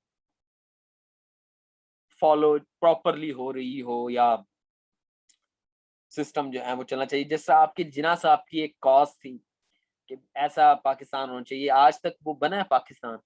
ठीक है, वो जिना का ख्वाब ही था, वो आज तक पाकिस्तान नहीं बन सका। ठीक है, इसी तरह फ्रांस के बारे में जो रेवोल्यूशन स्टार्ट हुई थी और उसके साथ जो सब्सिक्वेंट इवेंट्स होते गए, वो कहते हैं वक्त की ज़रूरत ऐसी थी अकॉर्डिंग टू देम कि ये उन्होंने अपने बंदे मारना स्टार्ट कर दिए to to to send a message against all the monarchs of the world कि यार अगर आप लोग जो है ना, वो हमारे पास आए तो हमने आपके लोगों को भी इस तरह ही मारना है, ठीक है? तो बे बी अवेयर और हमसे दूर रहे। खैर, वो वार जीत भी गए थे। अच्छा मैं आपको ये बता रहा था कि यहाँ से ब्रिटिश, ऑस्ट्रिया, हंगरी और आपका प्रोशिया, इन सबने फ्रांस के ऊपर अटैक करना स्टार्ट कर दिया। ये लोग इधर से, प्रोशिया भी इधर से आएगा, ठीक है जी? और ब्रिटिश क्या करता था? ब्रिटिश आया यहाँ से यहाँ से बॉय, ए, यहाँ से बॉय ने अटैक करने की कोशिश की, ठीक है? और काफ़ी जो यहाँ पर पोर्ट थी उसके ऊपर अटैक भी किया ब्रिटिश ने। उस वक्त निपोलियन जो है, उसको भेजा गया, उसको कहा गया कि आप यहाँ पर जाएँ। ये बात है डायरेक्टरी से पहले की बात बता रहा हूँ मैं, जब ये इन्होंने वॉर स्टार्ट की थी 1792 के अंदर। ये उस वक्त की बात बता रहा हूँ। मैं इसलिए आपको बता रहा हूँ कि एक तरीका तो ये है कि मैं आपको निपोलियन एज अ पर्सन पढ़ाऊं। दूसरा तरीका ये है कि मैं फ्रांस एज अ कॉन्टेक्स्ट के तौर पर आपको चीज़ों को समझाऊं। तीसरा तरीका ये है कि मैं वॉर्स पढ़ाऊं सिर्फ़ आपको। तो मेरी कोशिश ये है कि मैं आपको एज अ फ्रांस के कॉन्टेक्स्ट में वॉर्स और निपोलियन के एक्ट्स पढ़ाता जाऊँ। ठीक है जी? फ्रांस के अंदर क्या होता रहा और फ्रांस ने बाकियों के साथ क्या किया और ओवर द यूरोप क्या होता रहा? ठीक है? तो अभी डायरेक्टरी तक आप रुके। उससे पीछे जरा आप जाएँ, जब ये रेन ऑफ़ टेरर चल रहा था ना तो वॉर्स जो हो रही थी, ठीक है, उसके अंदर, उस वक्त नेपोलियन था। नेपोलियन जो है वो एक एक कमांड जो है, एक खास, एक उसमें था लेफ्टिनेंट था, ठीक है, और आर्मी के अंदर। तो उसको भेजा गया यहाँ पर कि ब्रिटिश ने यहाँ पर हमला कर दिया, आप जाए यहाँ पर। उस वक्त वो इटालियन कमांड थी, उसका जनरल बन गया, और वहाँ जाकर उसने ब्रिटिश को एक खास पॉलिसी के थ्रू जो है, उसने वहाँ पर उसको कैप्चर कर लिया ब्रिटिश को और वहाँ से हरा दिया और ब्रिटिश को भगा दिया। तो बाकी बड़े खुश हुए, ठीक है। उसको डायरेक्टरी में बिठा दिया, तभी वो डायरेक्टरी में बैठा। जब वो डायरेक्टरी में बैठा तो उसको कहा गया कि, यार देखो, तू बंदा बड़ा अच्छा है। तेरे तेरे लिए ना ये काम नहीं जचते, ये डायरेक्टरी वाले और ये। तू ना, ये जो ब्रिटिश है ना, इसको यहाँ पर हमला कर। इंग्लिश चैनल के थ्रू हमला कर, यहाँ से ना, इसके ऊपर यहाँ पर हमला कर। तो उसने बताया कि यहाँ से हमला करना बड़ा डिफ़िकल्ट है। तो तैयार बैठे होंगे आगे। हम पानी से यहाँ जा रहे होंगे, हमारे पास तो फ्लीट भी नहीं है। तो हम इसको एक और तरीके से हराते हैं और वहाँ पर हमला करते हैं जहाँ पर ये बहुत ज़्यादा वीक हो या उस जगह पर हमला करते हैं जहाँ से उसको उम्मीद ना हो कि हमने वॉर की है। यहाँ तक आपने बात को बस समझना है। अभी मैं आपको Napoleon as a separate person भी समझाने की कोशिश करूँगा। अब आए जरा rise of the Napoleon as a directory अब डायरेक्टरी के अंदर बॉय आपका बैठा है। अभी हमने इंग्लिश चैनल की तरफ़, अभी हम मूव नहीं हुए। डायरेक्टरी के अंदर है। अब डायरेक्टरी के अंदर क्या हो रहा है जी? इसको आपने स्ट्रीमलाइन करना है इस, इन बातों को। ये ना हो जाए कि आप कंफ्यूज कर रहे हो, सर ये डायरेक्टरी को पहले लिखना है वॉर को पहले लिखना है। वो क्वेश्चन के लिहाज से आपने बस इस चीज़ को स्ट्रीमलाइन करना है कि कब क्या क्या होता रहा। ठीक है? उस दौरान जो है वो निपोलियन आपका किस तरह लड़ता रहा और क्या सिस्टम करता रहा। यहाँ तक अगर किसी को कोई कंफ्यूजन है, किसी भी किस्म की, वो मुझे अभी बता दे ताकि हम मूव करें आगे।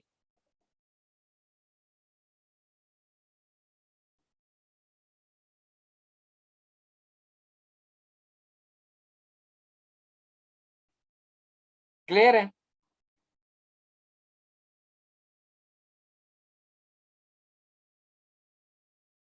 हाँ कंफ्यूजिंग हो रहा है। मैं इसलिए, मैं, मैंने कहा आपको मैं इसलिए बता दूँ।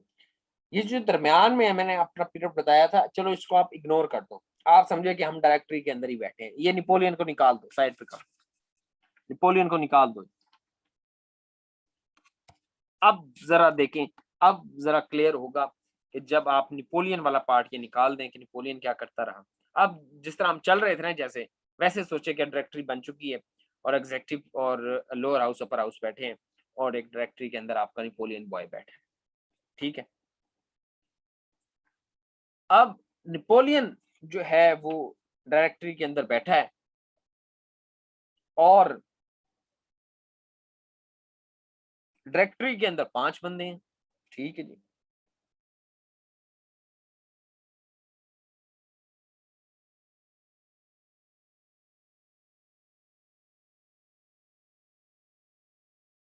अब क्या हुआ कि सिचुएशन ऐसी बनी कि डायरेक्टरी और वहाँ पर कुछ रॉयलिस्ट थे। रॉयलिस्ट फैमिली के पर्सन थे कुछ, जो रह गए थे रेन ऑफ़ टेरर के अंदर नहीं मारे गए। उन्होंने सोचा, क्यों ना हम इस गवर्नमेंट को ओवरथ्रो करें। Through conspiracy, through taking the confidence of the directors ये जो पाँच डायरेक्टर है ना पावर इनके पास बहुत है एग्जेक्टिव तो इनको हम अंडर द अम्ब्रेला लेते हैं और हम वॉर स्टार्ट करते हैं।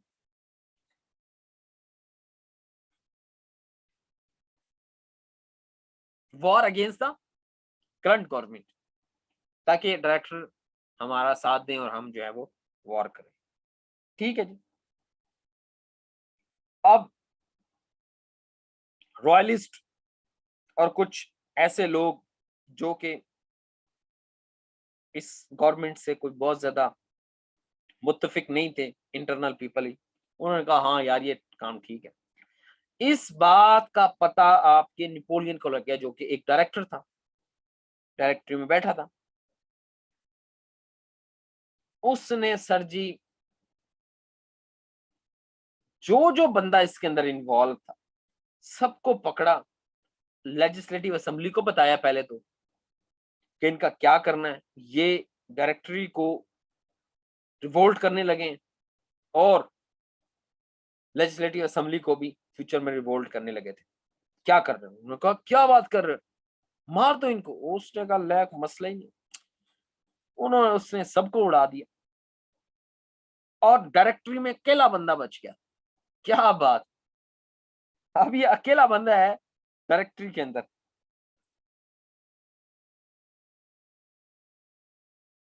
निपोलियन आपका बॉय उसने जब रियलाइज़ किया कि there is a room there is a room for the political power for himself. Why not take it? यानी कि आप इसकी जरा मूवमेंट चेक करें कि ये एक जर्नल है जो कि जब इसके ऊपर वॉर फ्रांस के ऊपर हो रही थी, उसमें ऑस्ट्रिया और क्रोशिया और ग्रेट ब्रिटेन ने वॉर स्टार्ट की 1792 के अंदर तो उस वक्त एक छोटा सा ये लेफ्टिनेंट था और ये इटली के अंदर भेजा गया। इसने वहाँ जाके वॉर लड़ी, वापसी आके डायरेक्टरी का मेंबर बन गया। और डायरेक्टरी में बैठ के इसने जो बाकी डायरेक्टर थे उनको उड़वा दिया। अब इसकी जरा मेंटेलिटी चेक करें। इसने कहा कि ये सिस्टम जो है वो बड़ा खराब हो गया और हमें जो है ना चीज़ों को देख के चलना होगा। अब इसका मतलब ये है कि ये बॉय कुछ बड़ा करने की सोच रहा है and that is to overthrow and overthrow the national convention वो जो मेंबर्स हैं 500 लोअर हाउस के और आपके 250 काउंसिल ऑफ़ द एंशंट्स के। उनको ओवरथ्रो करने की सोच रहा है and to become a dictator all in one उसने कहा, ये हम इसको इस तरह चलाते हैं. कोई बात समझ आ रही है? नेपोलियन को समझ रहे हो?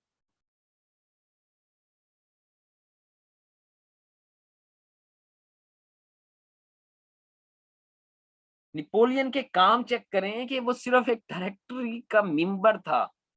और सोच ये रहा है कि मैं डायरेक्टरी डायरेक्टर्स को तो मैं वैसे मार दिया मैंने। अब किन को पकड़ना है? नेशनल कन्वेंशन वालों को। अब बेस देखना ये क्या बनाएगा?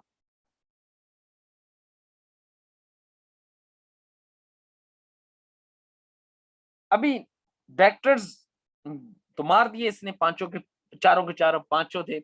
पाँच में खुद था चार बंदे उड़ा दिए इसने। अभी अकेला है। अब डायरेक्टरी में बैठा है। अब जो है वो यहाँ पर एक स्टॉप लगाएँ आप। और एक चीज़ बड़े आराम से, बड़ी गौर से मेरी बात को समझना है। ताकि हम इस बात को उससे कनेक्ट कर सकें। ये वॉर वाली बात मैं आपको बता रहा ठीक है? अभी तक सबको चीज़ें क्लियर हैं कि जो इवेंट्स हम करते आए हैं, वो इवेंट्स कैसे कैसे होते आए हैं, वो अभी तक क्लियर हैं?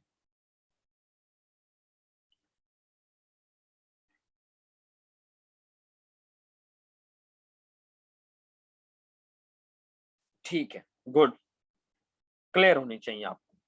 अब जरा यहाँ पर एक दफ़ा स्टॉप लगाएँ। और एक चीज़, एक बात मेरी समझे।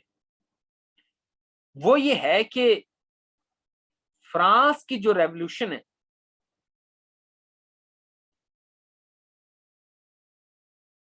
ये रेवोल्यूशन यूरोप के सॉइल पर जब हुई तो जैसे मैंने पिछले लेक्चर्स में बताया कि यूरोपियंस हु हैड मोनार्क्स वो डर गए it was a red alarm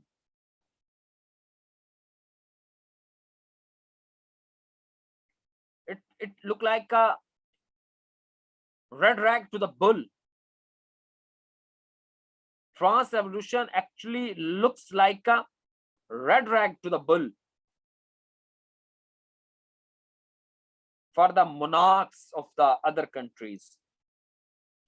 So they decided to wage a war against the France till its monarch reinstated. For this, इस काम के लिए आपके फ्रांस के against time and again different coalition बनती जाएँगी वॉर की। डिफरेंट वॉर होंगी अलायंसेस की फॉर्म में अगेंस्ट द फ्रांस फ्रांस अकेला होगा, बाकी सारे उसके अगेंस्ट लड़ रहे होंगे। रशिया ऑस्ट्रिया इटली के कुछ, जितने भी किंगडम है ये। स्पेन पोर्चुगल ब्रिटिश मेन है जो सारा इसको सब्सिडाइज कर रहा होगा। ये सारे फ्रांस के अगेंस्ट लड़ रहे होंगे। और ये वार स्टार्ट हुई हुई है 1792 से लेकर ये डिफरेंट वार्स होंगी। 1792 से लेकर 1815 तक ये वॉर होगी। ये वॉर पीरियड है। इसके अंदर क्या होगा? कोएलेशंस बनेंगी।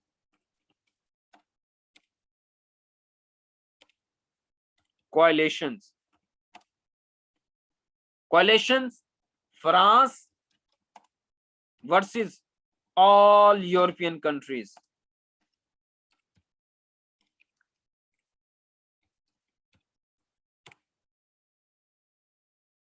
अब ये कोएलेशन जो है, ये कोएलेशन को समझने के लिए हिस्ट्री के अंदर इनके नाम दे दिए गए हैं। First coalition second coalition third coalition fifth coalition ठीक है? यानी कि कोएलेशन बनती जाएँगी। अब जो आपका फ़र्स्ट जब वॉर स्टार्ट हुई थी, जब इन्होंने अभी किंग को इम्प्रिजन किया था और रॉयल फैमिली को, और जो क्वीन थी, उसने मैसेज सेंड किया ऑस्ट्रिया हंगरी को, उसका मामा बैठा था वहाँ पर। और आपको पता है ऑस्ट्रिया हंगरी का जो अंपायर अंपायर का जो आपका किंग है वो होली रोमन अंपायर भी उसके पास था। इट मींस एक्चुअली वो होली रोमन अंपायर को भी लीड कर रहा था और ऑस्ट्रिया हंगरी अंपायर को भी लीड कर रहा था। काफ़ी पावरफुल था वो। जोसेफ लियोपर्ड नाम था उसका। अच्छा वो बॉय भाई जो था उसका आ, इसकी माँ का यानी कि मामा ठीक है? तो मामा जी जो है ना उसने प्रोशिया को भी मिला लिया और ब्रिटिश को भी मिला लिया। कब? 1792 के अंदर ये वॉर स्टार्ट होती है और थ्री फोर के अंदर जैसे ही मोनार्क को मारते हैं ये किंग को 93 में ब्रिटिश भी आ जाता है। इन तीन जो है ना वॉर हो, तीनों इसके ऊपर अटैक करना स्टार्ट कर देते हैं फ्रांस के ऊपर। ठीक है, बाद में रशिया भी आ जाता है वो। ये फ़र्स्ट कॉलेशन चलती रहेगी। ठीक है। 97 तक की कॉलेशन चलती है वॉर करते रहेंगे। अब इसको दो एंगल से देखने की कोशिश करनी है, इन वॉर्स को। एक तो ये है कि आपका निपोलियन बॉय क्या करेगा, क्या करता रहा?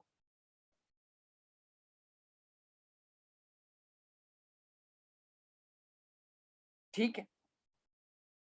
अब 1792 के अंदर बैठ के आप ये देख रहे थे उस वक्त जो मैं आपको पढ़ा रहा था कि डेंटोन है रॉब्सबरी है रेन ऑफ़ टेरर स्टार्ट हुआ हुआ है। उस वक्त ऑस्ट्रिया हंगरी अंपायर और क्रोशिया और ब्रिटिश ने फ्रांस के ऊपर हमला भी तो कर दिया था। तो उस वक्त आपका निपोलियन जो है, वो इटली के अंदर वॉर लड़ इटली कह रहा हूँ, यहाँ पर साउदर्न फ्रांस के अंदर वॉर लड़ रहा होता है और ब्रिटिश को यहाँ हराता है।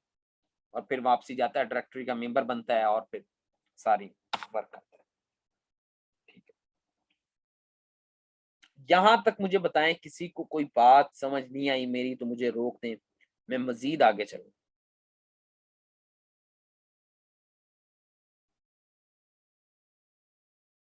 क्लियर है? सबको क्लियर है?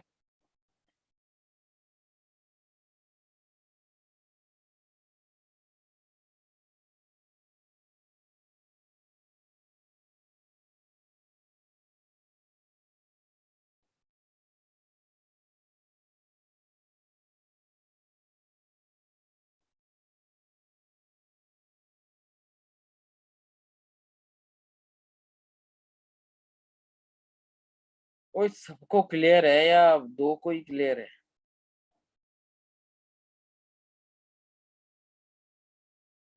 क्वेश्चन है तो मुझसे ना अभी पूछ लें। क्योंकि मैं इसको मजीद कॉम्प्लिकेट करता जाऊँगा। आहिस्ता आहिस्ता।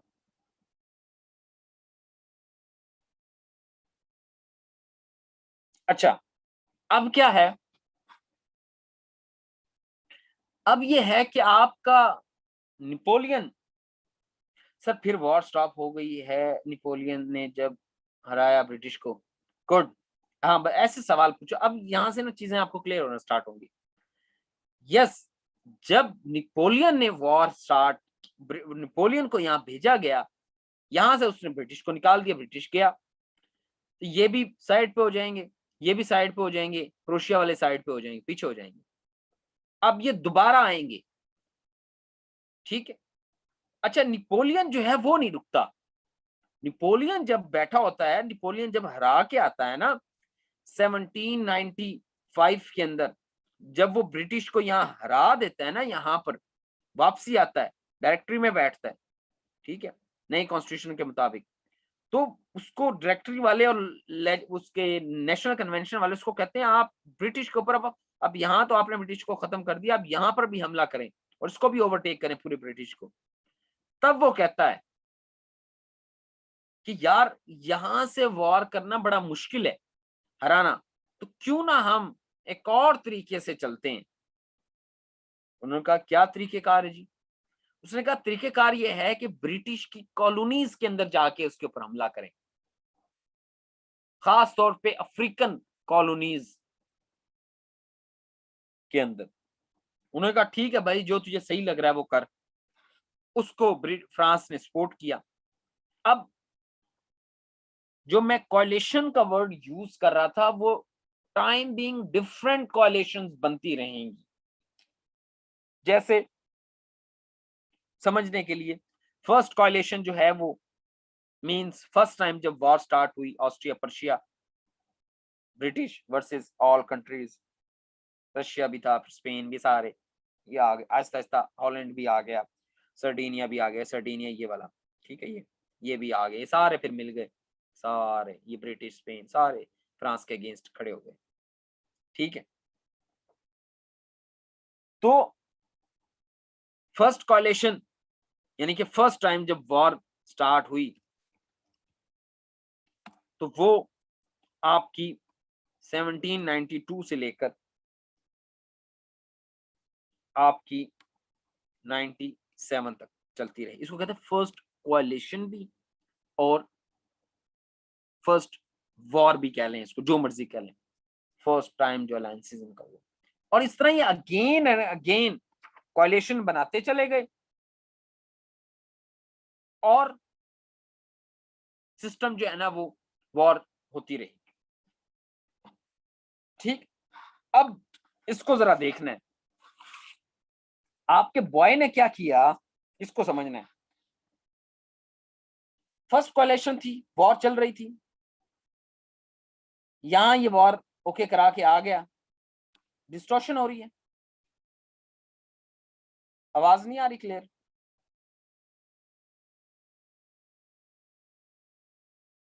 क्लियर है, सादिया को आवाज़ नहीं आ रही। नो नो इट्स क्लियर अच्छा। सादिया को आवाज़ नहीं आ रही। अच्छा चलें गुड अब फ्रांस जो है वो, उसने क्या किया निपोलियन जब हरा के आ गया ब्रिटिश को और उसको कहा कि आप ब्रिटिश के ऊपर यहाँ से हमला करें तो उसने मना किया कि यहाँ से हमला नहीं करना। मुझे आप इजाज़त दें तो मैं एक और तरीके से इसको हमला करता हूँ। उन्होंने कहा, क्या? उसने कहा कि मैं जो है वो यहाँ से निकल के इस यूरोप से निकल के मैं अफ्रीकन कॉन्टिनेंट में जाऊँगा। अफ्रीकन कॉन्टिनेंट नीचे आता है। अगर कोई पिक्चर जो है, ये आपकी क्वीन थी यार। ठीक है, दीदार कर लो, ये सारे सारे मरेंगे। ये आपका नेपोलियन बॉय ठीक है? तो उसने कहा कि मैं, बल्कि मैं आपको ना वो दिखाता हूँ वर्ल्ड मैप उसके अंदर आपको ना क्लियरली समझाएगी कि कहाँ पर उसने इसको किया एंड किया, ठीक है? वर्ल्ड ठीक है। जैसे मैंने लास्ट टाइम आपको दिखाने की, समझाने की कोशिश की थी, ताकि ना आपको समझ आए आहा क्या बात।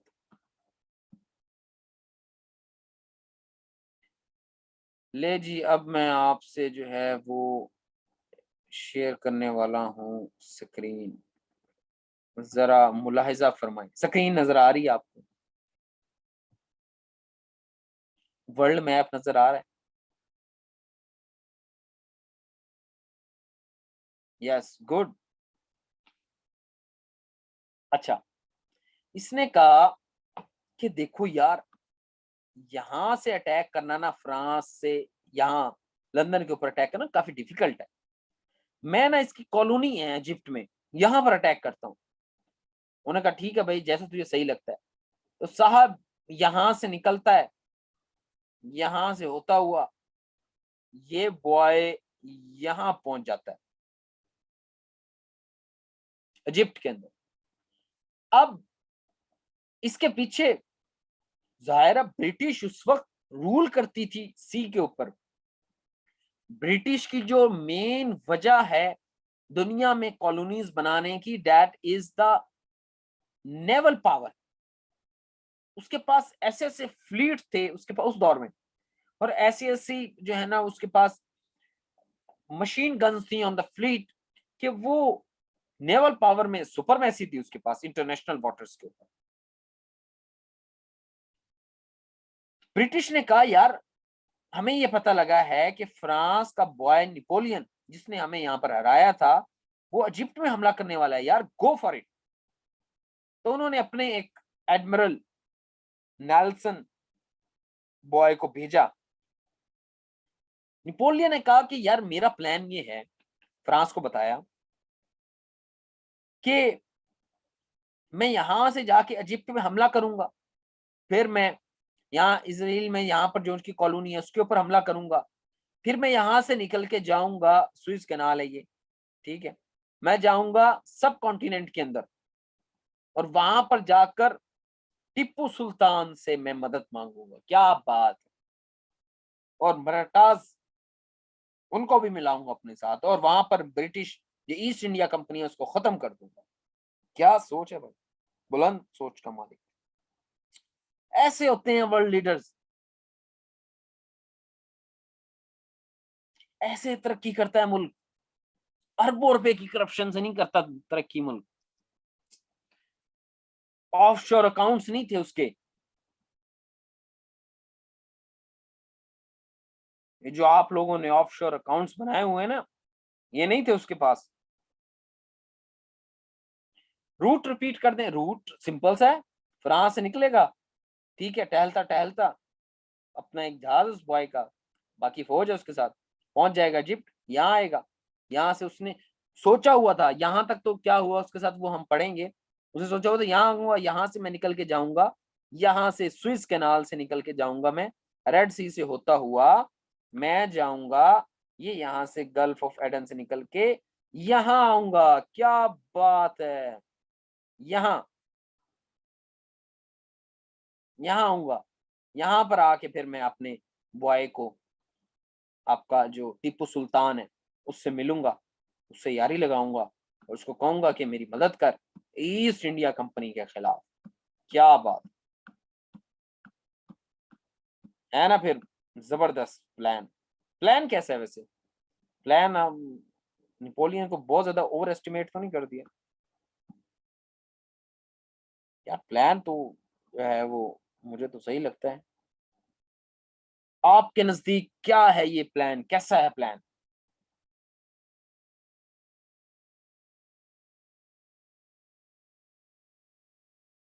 अच्छा है अच्छा है।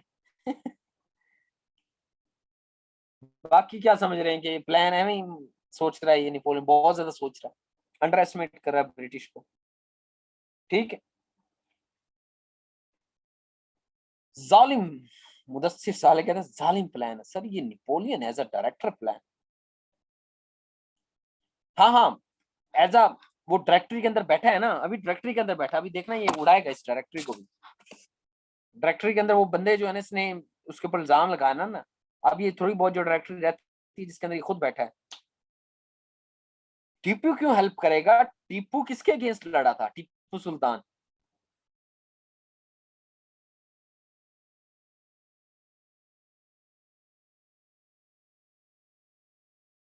हाय कामयाब हुआ? That is the question that is a golden million dollar question आपने नेपोलियन को अंडर एस्टिमेट किया हुआ है कि यार ये बहुत ज़्यादा सोचता था। खैर, सादिया का क्वेश्चन ये है कि टीपू क्यों हेल्प करेगा? टीपू किसके खिलाफ लड़ रहा था? मेरा ये सवाल है। जब आप इसका जवाब देंगी तो आपका सवाल सॉल्व हो जाएगा। अच्छा नेपोलियन जो है, वो यहाँ पहुँचा। आ रहा था आहिस्ता आहिस्ता टहल टहल के आ रहा था रुकता हुआ, रस्ते में ये माल्टा नज़र आ रहा आपको? है? ये जो कंट्री है ना, जाते जाते जब यहाँ पहुँचा, उसने कहा कि यार इसको भी अपने हिस्से में ले लो, डाल दो भाई, इसको भी बैग में, माल्टा को भी फ्रांस के अंदर डाल दो। और माल्टा के अंदर कितनी फोर्स उन्होंने कहा ठीक है भाई, ये भी सीज करता हो गया। अच्छा ब्रिटिश को जब पता लगा कि ये बॉय नेपोलियन यहाँ से निकल चुका है और ये इजिप्ट के अंदर आने वाला और यहाँ पर हमला करने वाला है, उसने अपने एडमिरल नेल्सन को भेजा कि यार तुम ना स्पीडली जाओ। ले जी, अभी आपका बॉय पहुँचा ही नहीं था। आपका बॉय जो है वो पहुँचा ही नहीं था। नेपोलियन के ब्रिटिश यहाँ पर खड़ा था। एग्जेक्टिव तो वहाँ खत्म हो गई है। ये समझ लें कि France was under the war legislative जो है, वो जरा थोड़ा बहुत वर्क कर रही है। ठीक है? लेजिस्लेटिव असेंबली जो बैठी, वो थोड़ा बहुत वर्क कर रही है कि किस तरह सिस्टम को चलाना है। एग्जेक्टिव को तो वो उड़ा देगा। खत्म कर दिया उसने एग्जेक्टिव खुद ही ऑल इन वन खुद ही है।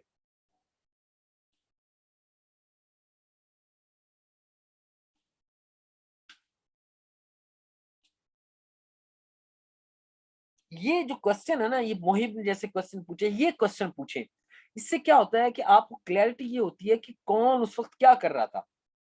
माइंड में ना आइडियाज़ की क्लैरिटी आना स्टार्ट हो जाती है। अच्छा ये इस वक्त ये है सिचुएशन अब क्लियर हुई है, ठीक है? इससे ना आपका माइंड के अंदर जो वॉर के ये जो ये इवेंट्स हैं, इनका ना स्ट्रक्चर बन जाएगा, कब क्या हुआ और उस वक्त कौन क्या कर रहा था, ठीक है? अच्छा अब यहाँ से निकलता हुआ वो अजीब पहुँचा। उससे पहले अभी वो पहुँचना ही था क्योंकि वो माल्टा में उसको काफ़ी देर लग गई। उसने सीज करना था माल्टा को। तो आपका जो नेशनल एडमिरल था ब्रिटिश वो पहले पहुँच गया, यहाँ खड़ा।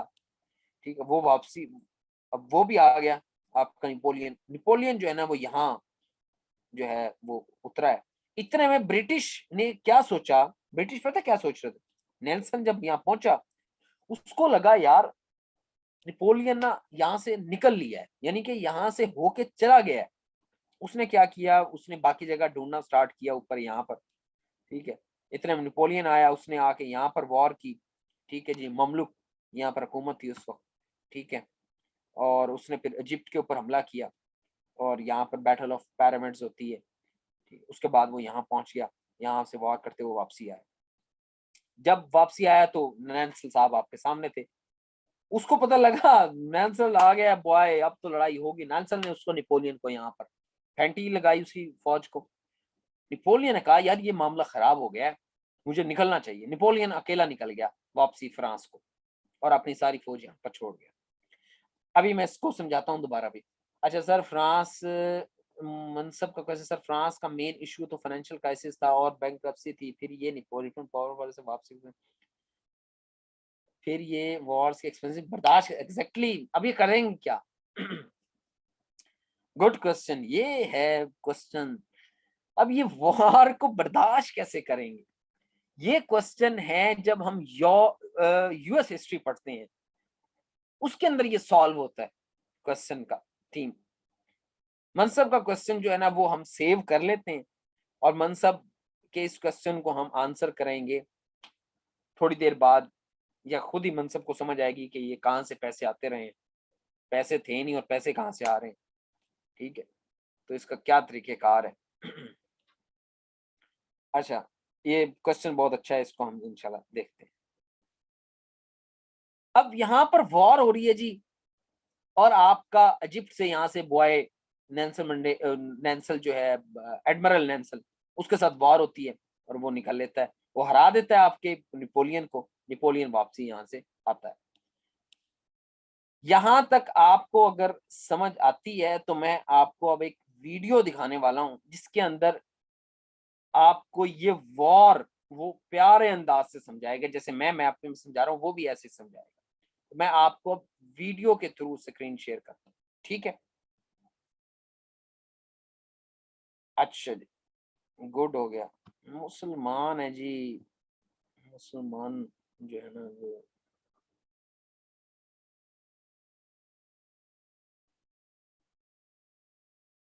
अच्छा अब मुझे बताएँ कि ये पिक्चर सामने आपको नज़र आ रही है? Napoleon part one birth of an emperor नज़र आ रही है? जी गुड अब वीडियो अगर चले ना तो मुझे बताना।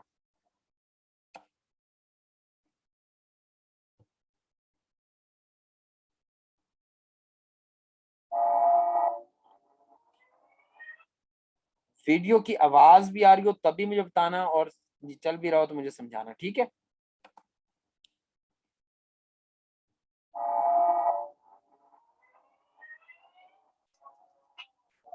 The story begins in 1768 in Corsica.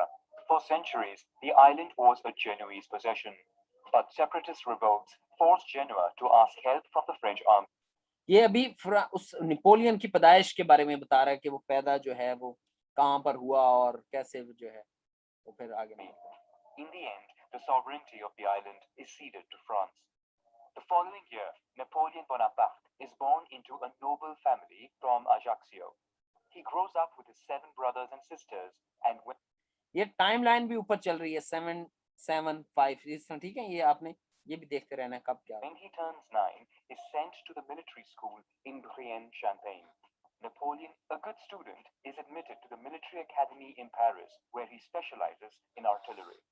The following year, at age 16, he is appointed second lieutenant of the artillery in Valence.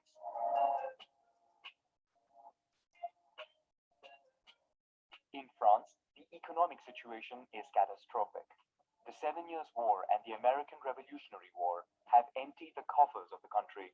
Louis XVI, struggling with the country's financial difficulties, summons to Versailles representatives of the clergy, the nobility, and the third estate, that is the people, to find a solution to the crisis.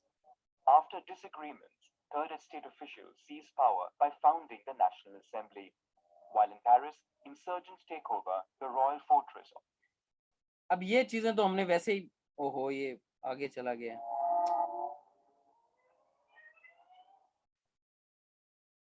चलो इसको देख लो ये चीजें तो हमने वैसे ही समझी हुई हैं ठीक है तो ये आपने ये चीजें तो अभी दोबारा बताएगा वो रिपीट हो गया रुक गई थी तो आप एक दफा इसको दोबारा देखिए in Corsica.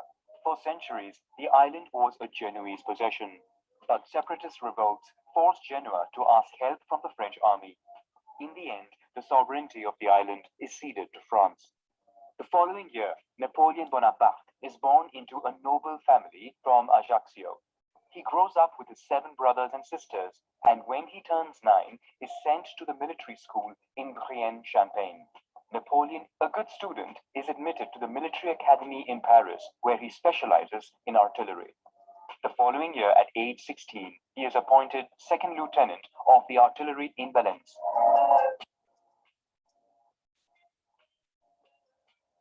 In France, the economic situation is catastrophic. The Seven Years' War and the American Revolutionary War have emptied the coffers of the country. Louis XVI, struggling with the country's financial difficulties, summons to Versailles representatives of the clergy, the nobility, and the third estate, that is, the people, to find a solution to the crisis. After disagreements, third estate officials seize power by founding the National Assembly.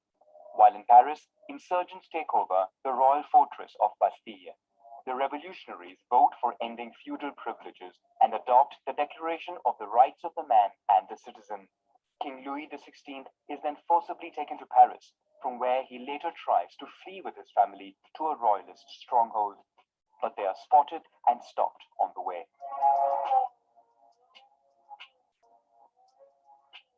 Initially, European monarchies remained mute about the French Revolution seeing the weakening of their French competitor as a good thing. But the arrest of Louis XVI make them fear that revolutionary ideas might spread across the continent and threaten their thrones. Prussia and Austria then combine forces to try and restore the French monarchy. War breaks out, with the French armies in poor condition. Facing the Allied army advance on Paris, the revolutionaries panic and execute all opponents of the revolution. But eventually, an unexpected victory of the French army pushes the coalition back beyond the country's borders. The revolutionaries regain confidence and proclaim the Republic. Louis XVI is then tried and guillotined, further angering European monarchies. The coalition strengthens, while on the French side, conscriptions swell up the ranks of the army.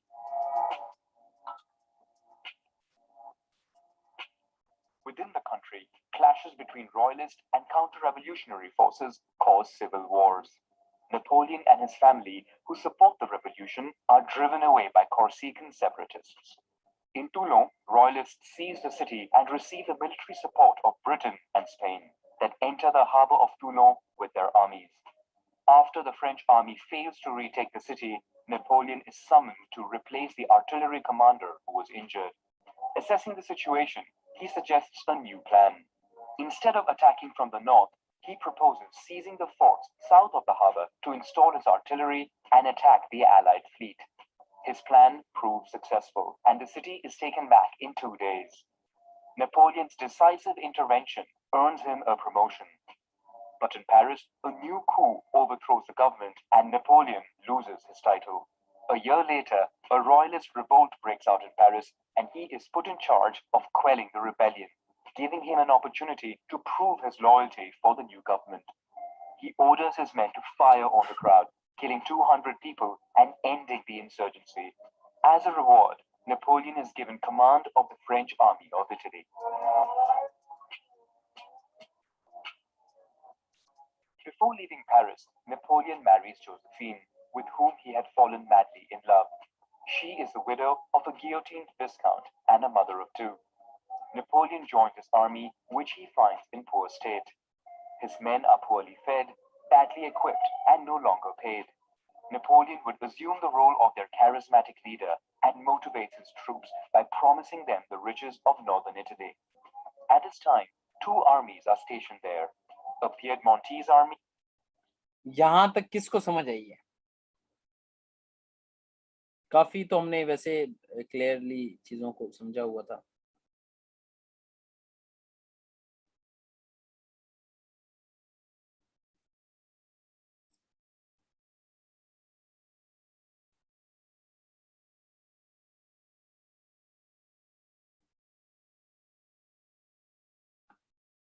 हाँ भाई, किसको समझ clear मज, good. अच्छा ये ना कोalition चल रही है। कोalition जो है, वो आपको पता है, फिर जो है, एक तरफ़ फ्रांस है, बाकी सारी तरफ़ जो है, उसके अगेंस्ट ओपोनेंट्स हैं, और वो लड़ रहे हैं। अब ये चीज़ें जो ये बता रहा है, ये है आपकी नेपोलियन की वॉर्स भी इनको कहेंगे हम, या नेपोलियन या फ्रांस जो है, वो फ़र्स्ट कोalition सेकंड कोalition थर्ड फोर्थ कोalition के अगेंस्ट किस तरह लड़ता रहा? ठीक है? तो यहाँ तक हम इसको जरा स्टॉप करते हैं और अब हम देखते हैं कि आपका बॉय ये नेपोलियन जो है, वो वॉर लड़ रहा है यहाँ पर इटालियन जो कमांड थी, उसके अंदर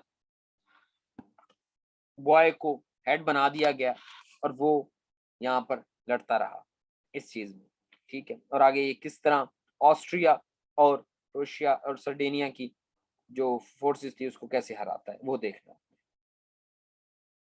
and an Austrian one. Napoleon is outnumbered and knows that if both armies unite, he would have no chance. His plan is to speedily advance his troops, place them in between both armies, and fight them separately. On April 10, he launches his attack. The plan works, and after a few battles, he defeats the Kingdom of Sardinia.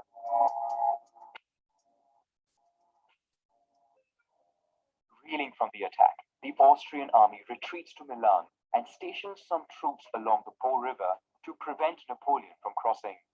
Napoleon sends over a small part of his army as a diversion, while the bulk of his troops cross the river further east. This move threatens to break the Austrian line of communication, thus isolating its army, which then withdraws from Milan without fighting and flees eastward. For a year, Napoleon maintains an advantage thanks to his troops' speedy movement and because Austrian forces divide itself into smaller armies. Eventually, Napoleon's army threatens Vienna, forcing the Emperor of Austria to seek an armistice. यहाँ पर आप रुक जाएं आपको बहुत ज्यादा मेरे ख्याल से अगर कंफ्यूजिंग हो रही है तो हम यहाँ पर रुक जाते हैं अच्छा यहाँ तक वैसे समझ आ गई ये क्लियर है ये मैं आपको वीडियो इसलिए दिखा रहा हूँ कि ताकि आपको इस चीज़ की क्लैरिटी हो कि ये जो डिफरेंट वार्ड्स हैं, वो किस किस जगह पर कब कब लड़ी गई और नेपोलियन जो है वो किस स्ट्रेटजी के साथ इनको हराता रहा है? First coalition second coalition third coalition fourth five fifth ये कॉलेशन चलती रहेगी। ठीक है?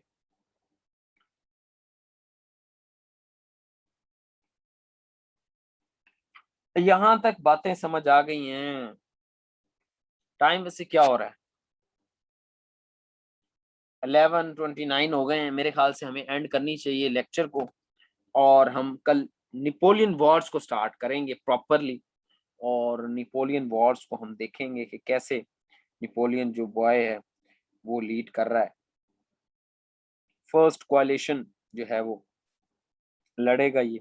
अब ये यहाँ ऑस्ट्रिया को हरा के ट्रीटी करके ये ब्रिटिश से लड़के इजिप्ट में वहाँ से वापसी आएगा, वहाँ से वापसी आके ये घर में आके जो है ना फ़र्स्ट काउंसिल बन जाएगा। कू जो है लगाएगा ओवर थ्रो द डायरेक्टरी और कू लगा के फ़र्स्ट काउंसिल अपने आप को खुद ही फ़र्स्ट काउंसिल कहेगा। और उसके कुछ साल बाद जो है वो फिर ये एम्पर बन जाएगा फॉर द लाइफ टाइम। ठीक है? तो वो हम फिर नेक्स्ट लेक्चर में देखेंगे। यहाँ तक चीज़ें क्लियर हैं या नहीं है? Please tell me.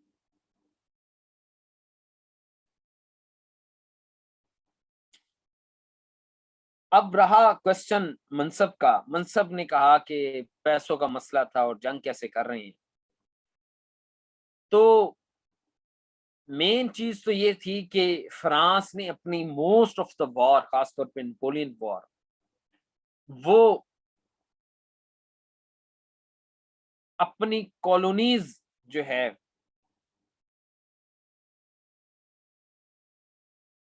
हाँ वही में,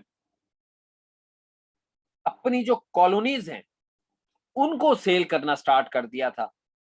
मिसाल के तौर पर, इसकी एक एग्जांपल मैं देता हूँ। वो ये थी कि फ्रांस की कॉलोनी थी जो आपका यूएस है। उसका बहुत सारा पार्ट जो है फ्रांस के अंडर था। ये जो थर्टीन स्टेट्स आपके शुरू वाली है ना, जो एक अटलांटिक ओशन के ऊपर, बल्कि मैं आपको ना पिक्चर दिखाता हूँ। आपको ना फिर समझ आएगी। आ, उसके अंदर क्या कहते हैं? ये देखें। ये नज़र आ रहा है यूएस का मैप?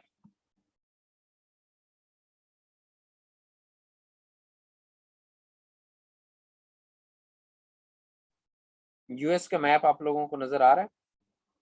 जी good yes Louisiana treaty Louisiana purchase इसको कहते हैं। लुजियाना परचेज ये जो फ्रांस है ना, ये बॉय आप, ये अटलांटिक ओशन ठीक है नॉर्थ अटलांटिक ओशन ठीक है?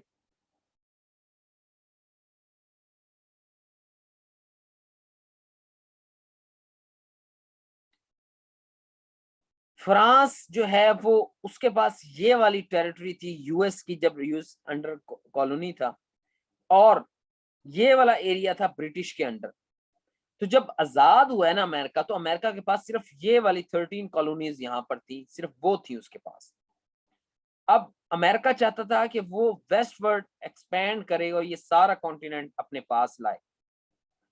अब फ्रांस अपनी वॉर जैसे मनसब ने कहा कि वॉर वो लड़ रहे थे और पैसों को मसला तो क्या करे? तो उसने फिर यहाँ पर डीलिंग करना स्टार्ट कर दी और उसने अपनी वॉर को सब्सिडाइज करने के लिए नेपोलियन ने खास तौर पर ये वाली जो जगह है ये ये, ये लुजियाना ये काफ़ी बड़ी जगह थी इसने। थॉमस जेफरसन के टाइम पर इसने सेल कर दी नेपोलियन ने फ्रांस ने यूएस को 15 मिलियन डॉलर के अवज ठीक है। तो इस तरह ये अपने आप को सब्सिडाइज करते रहे वॉर को और लड़ते रहे। और जो बाकी कंट्रीज़ हैं, उनको कौन सब्सिडाइज करता रहा? उनको ब्रिटिश करता रहा, जो कि एक ये समझ लें कि दुनिया के ऊपर राज कर रहा था। उसके पास तो काफ़ी वेल्थ थी, क्योंकि वो डिफरेंट कॉलोनीज से कमाता था। उसके पास काफ़ी वेल्थ थी। तो वो उनको सब्सिडाइज करता था। ये जितनी भी वॉर्स होंगी आगे, वो सारी सब्सिडाइज होंगी थ्रू द ब्रिटिश ठीक? ऐसे ही अपने आप को इन्होंने सॉल्व किया। अच्छा वो वाला जो मैंने बताया ना, फ्रांस ने वो डेट वाला, वो उन्होंने ना पेपर करेंसी स्टार्ट की थी। असाइनमेंट्स जो है ना पेपर करेंसी की फॉर्म में ना वो उन्होंने छापना स्टार्ट कर दिए थे, जिससे उन्होंने कहा कि हम जो है, और लैंड जितनी भी थी क्लर्जी की, वो वेल्थ को कन्फिस्केट कर लिया, उनके पास जितने भी पैसे थे, ठीक है जी वेल्थ गोल्ड फॉर्म में थी, जिस फॉर्म में सारी कन्फिस्केट कर ली थी, और उससे भी काफ़ी पैसा उनको फ्रांस को अर्ली टाइम में मिल गया था अर्ली वॉर को सब्सिडाइज करने के लिए। ये जो पहली कॉलेशन की वॉर उसके बाद नेपोलियन जो है ना, फिर सेल कर देगा कॉलोनी का तो वहाँ से फिर पैसे मिल। लुजियाना परचेज ये ऐसे करते रहे। ठीक है? यहाँ तक समझ आ गई है? क्लियर है यहाँ तक या कोई कंफ्यूजन है? कंफ्यूजन है बोरिंग लग रहा है तो मुझे बता दें।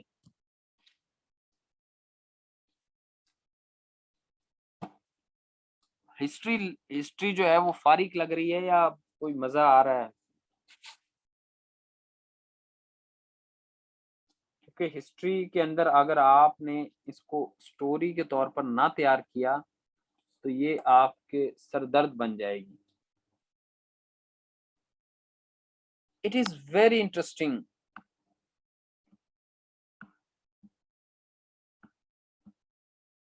ठीक है? ये इस वर्ल्ड मैप को देखते रहा करो बस। ठीक है? और ताकि आपको चीज़ें जो है ना, वो आहिस्ता आहिस्ता क्लियर होती जाए।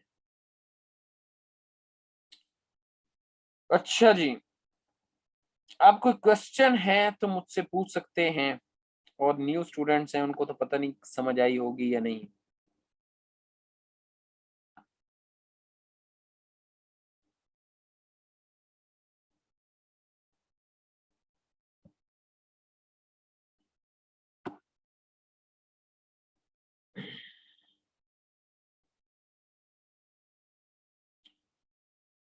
कोई क्वेश्चन है तो आप पूछ सकते हैं।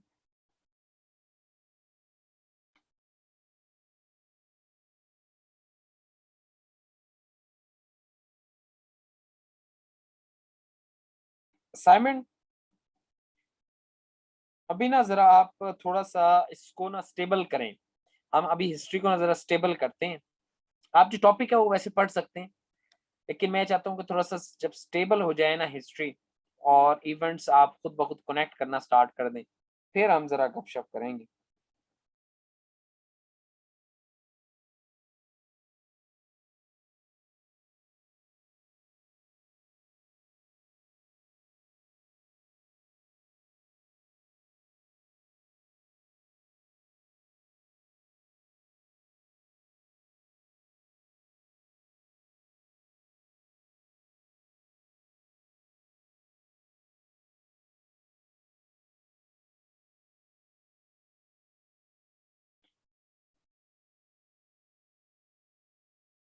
हाँ ये नेपोलियन जो है, वो जब फ़र्स्ट कॉलेशन खत्म हो जाएगी ना 1799 के अंदर, ठीक है, ये फ़र्स्ट कॉलेशन को एंड करता है, उस, पहले ये बनाता है डायरेक्टरी को खत्म करके अपने आप को फ़र्स्ट काउंसिल फिर ये नेशनल कन्वेंशन को खत्म कर देता है, और फिर ऑल इन ऑल खुद बन के बैठ जाता है, और वो 1802 1801 1801 के अंदर, इस तरह 1801 या 2 के अंदर, वो जैसे ही सेंचुरी टर्न होती है ना, वो वैसे ही बॉय सेकंड कॉलेशन उस वक्त स्टार्ट हो चुकी होती है और सेकंड वॉर स्टार्ट होती है। तो उस वक्त वो नेशनल कन्वेंशन को खत्म करके अपने आप को एम्पर बना देता है लाइफ टाइम के लिए एम्पर बना लेगा ठीक? आई होप के आप लोगों को क्लियर हो गया होगा। बाकी जो है वक्तन देखते रहेंगे हम सिस्टम को। क्या करना है, क्या नहीं, ठीक है?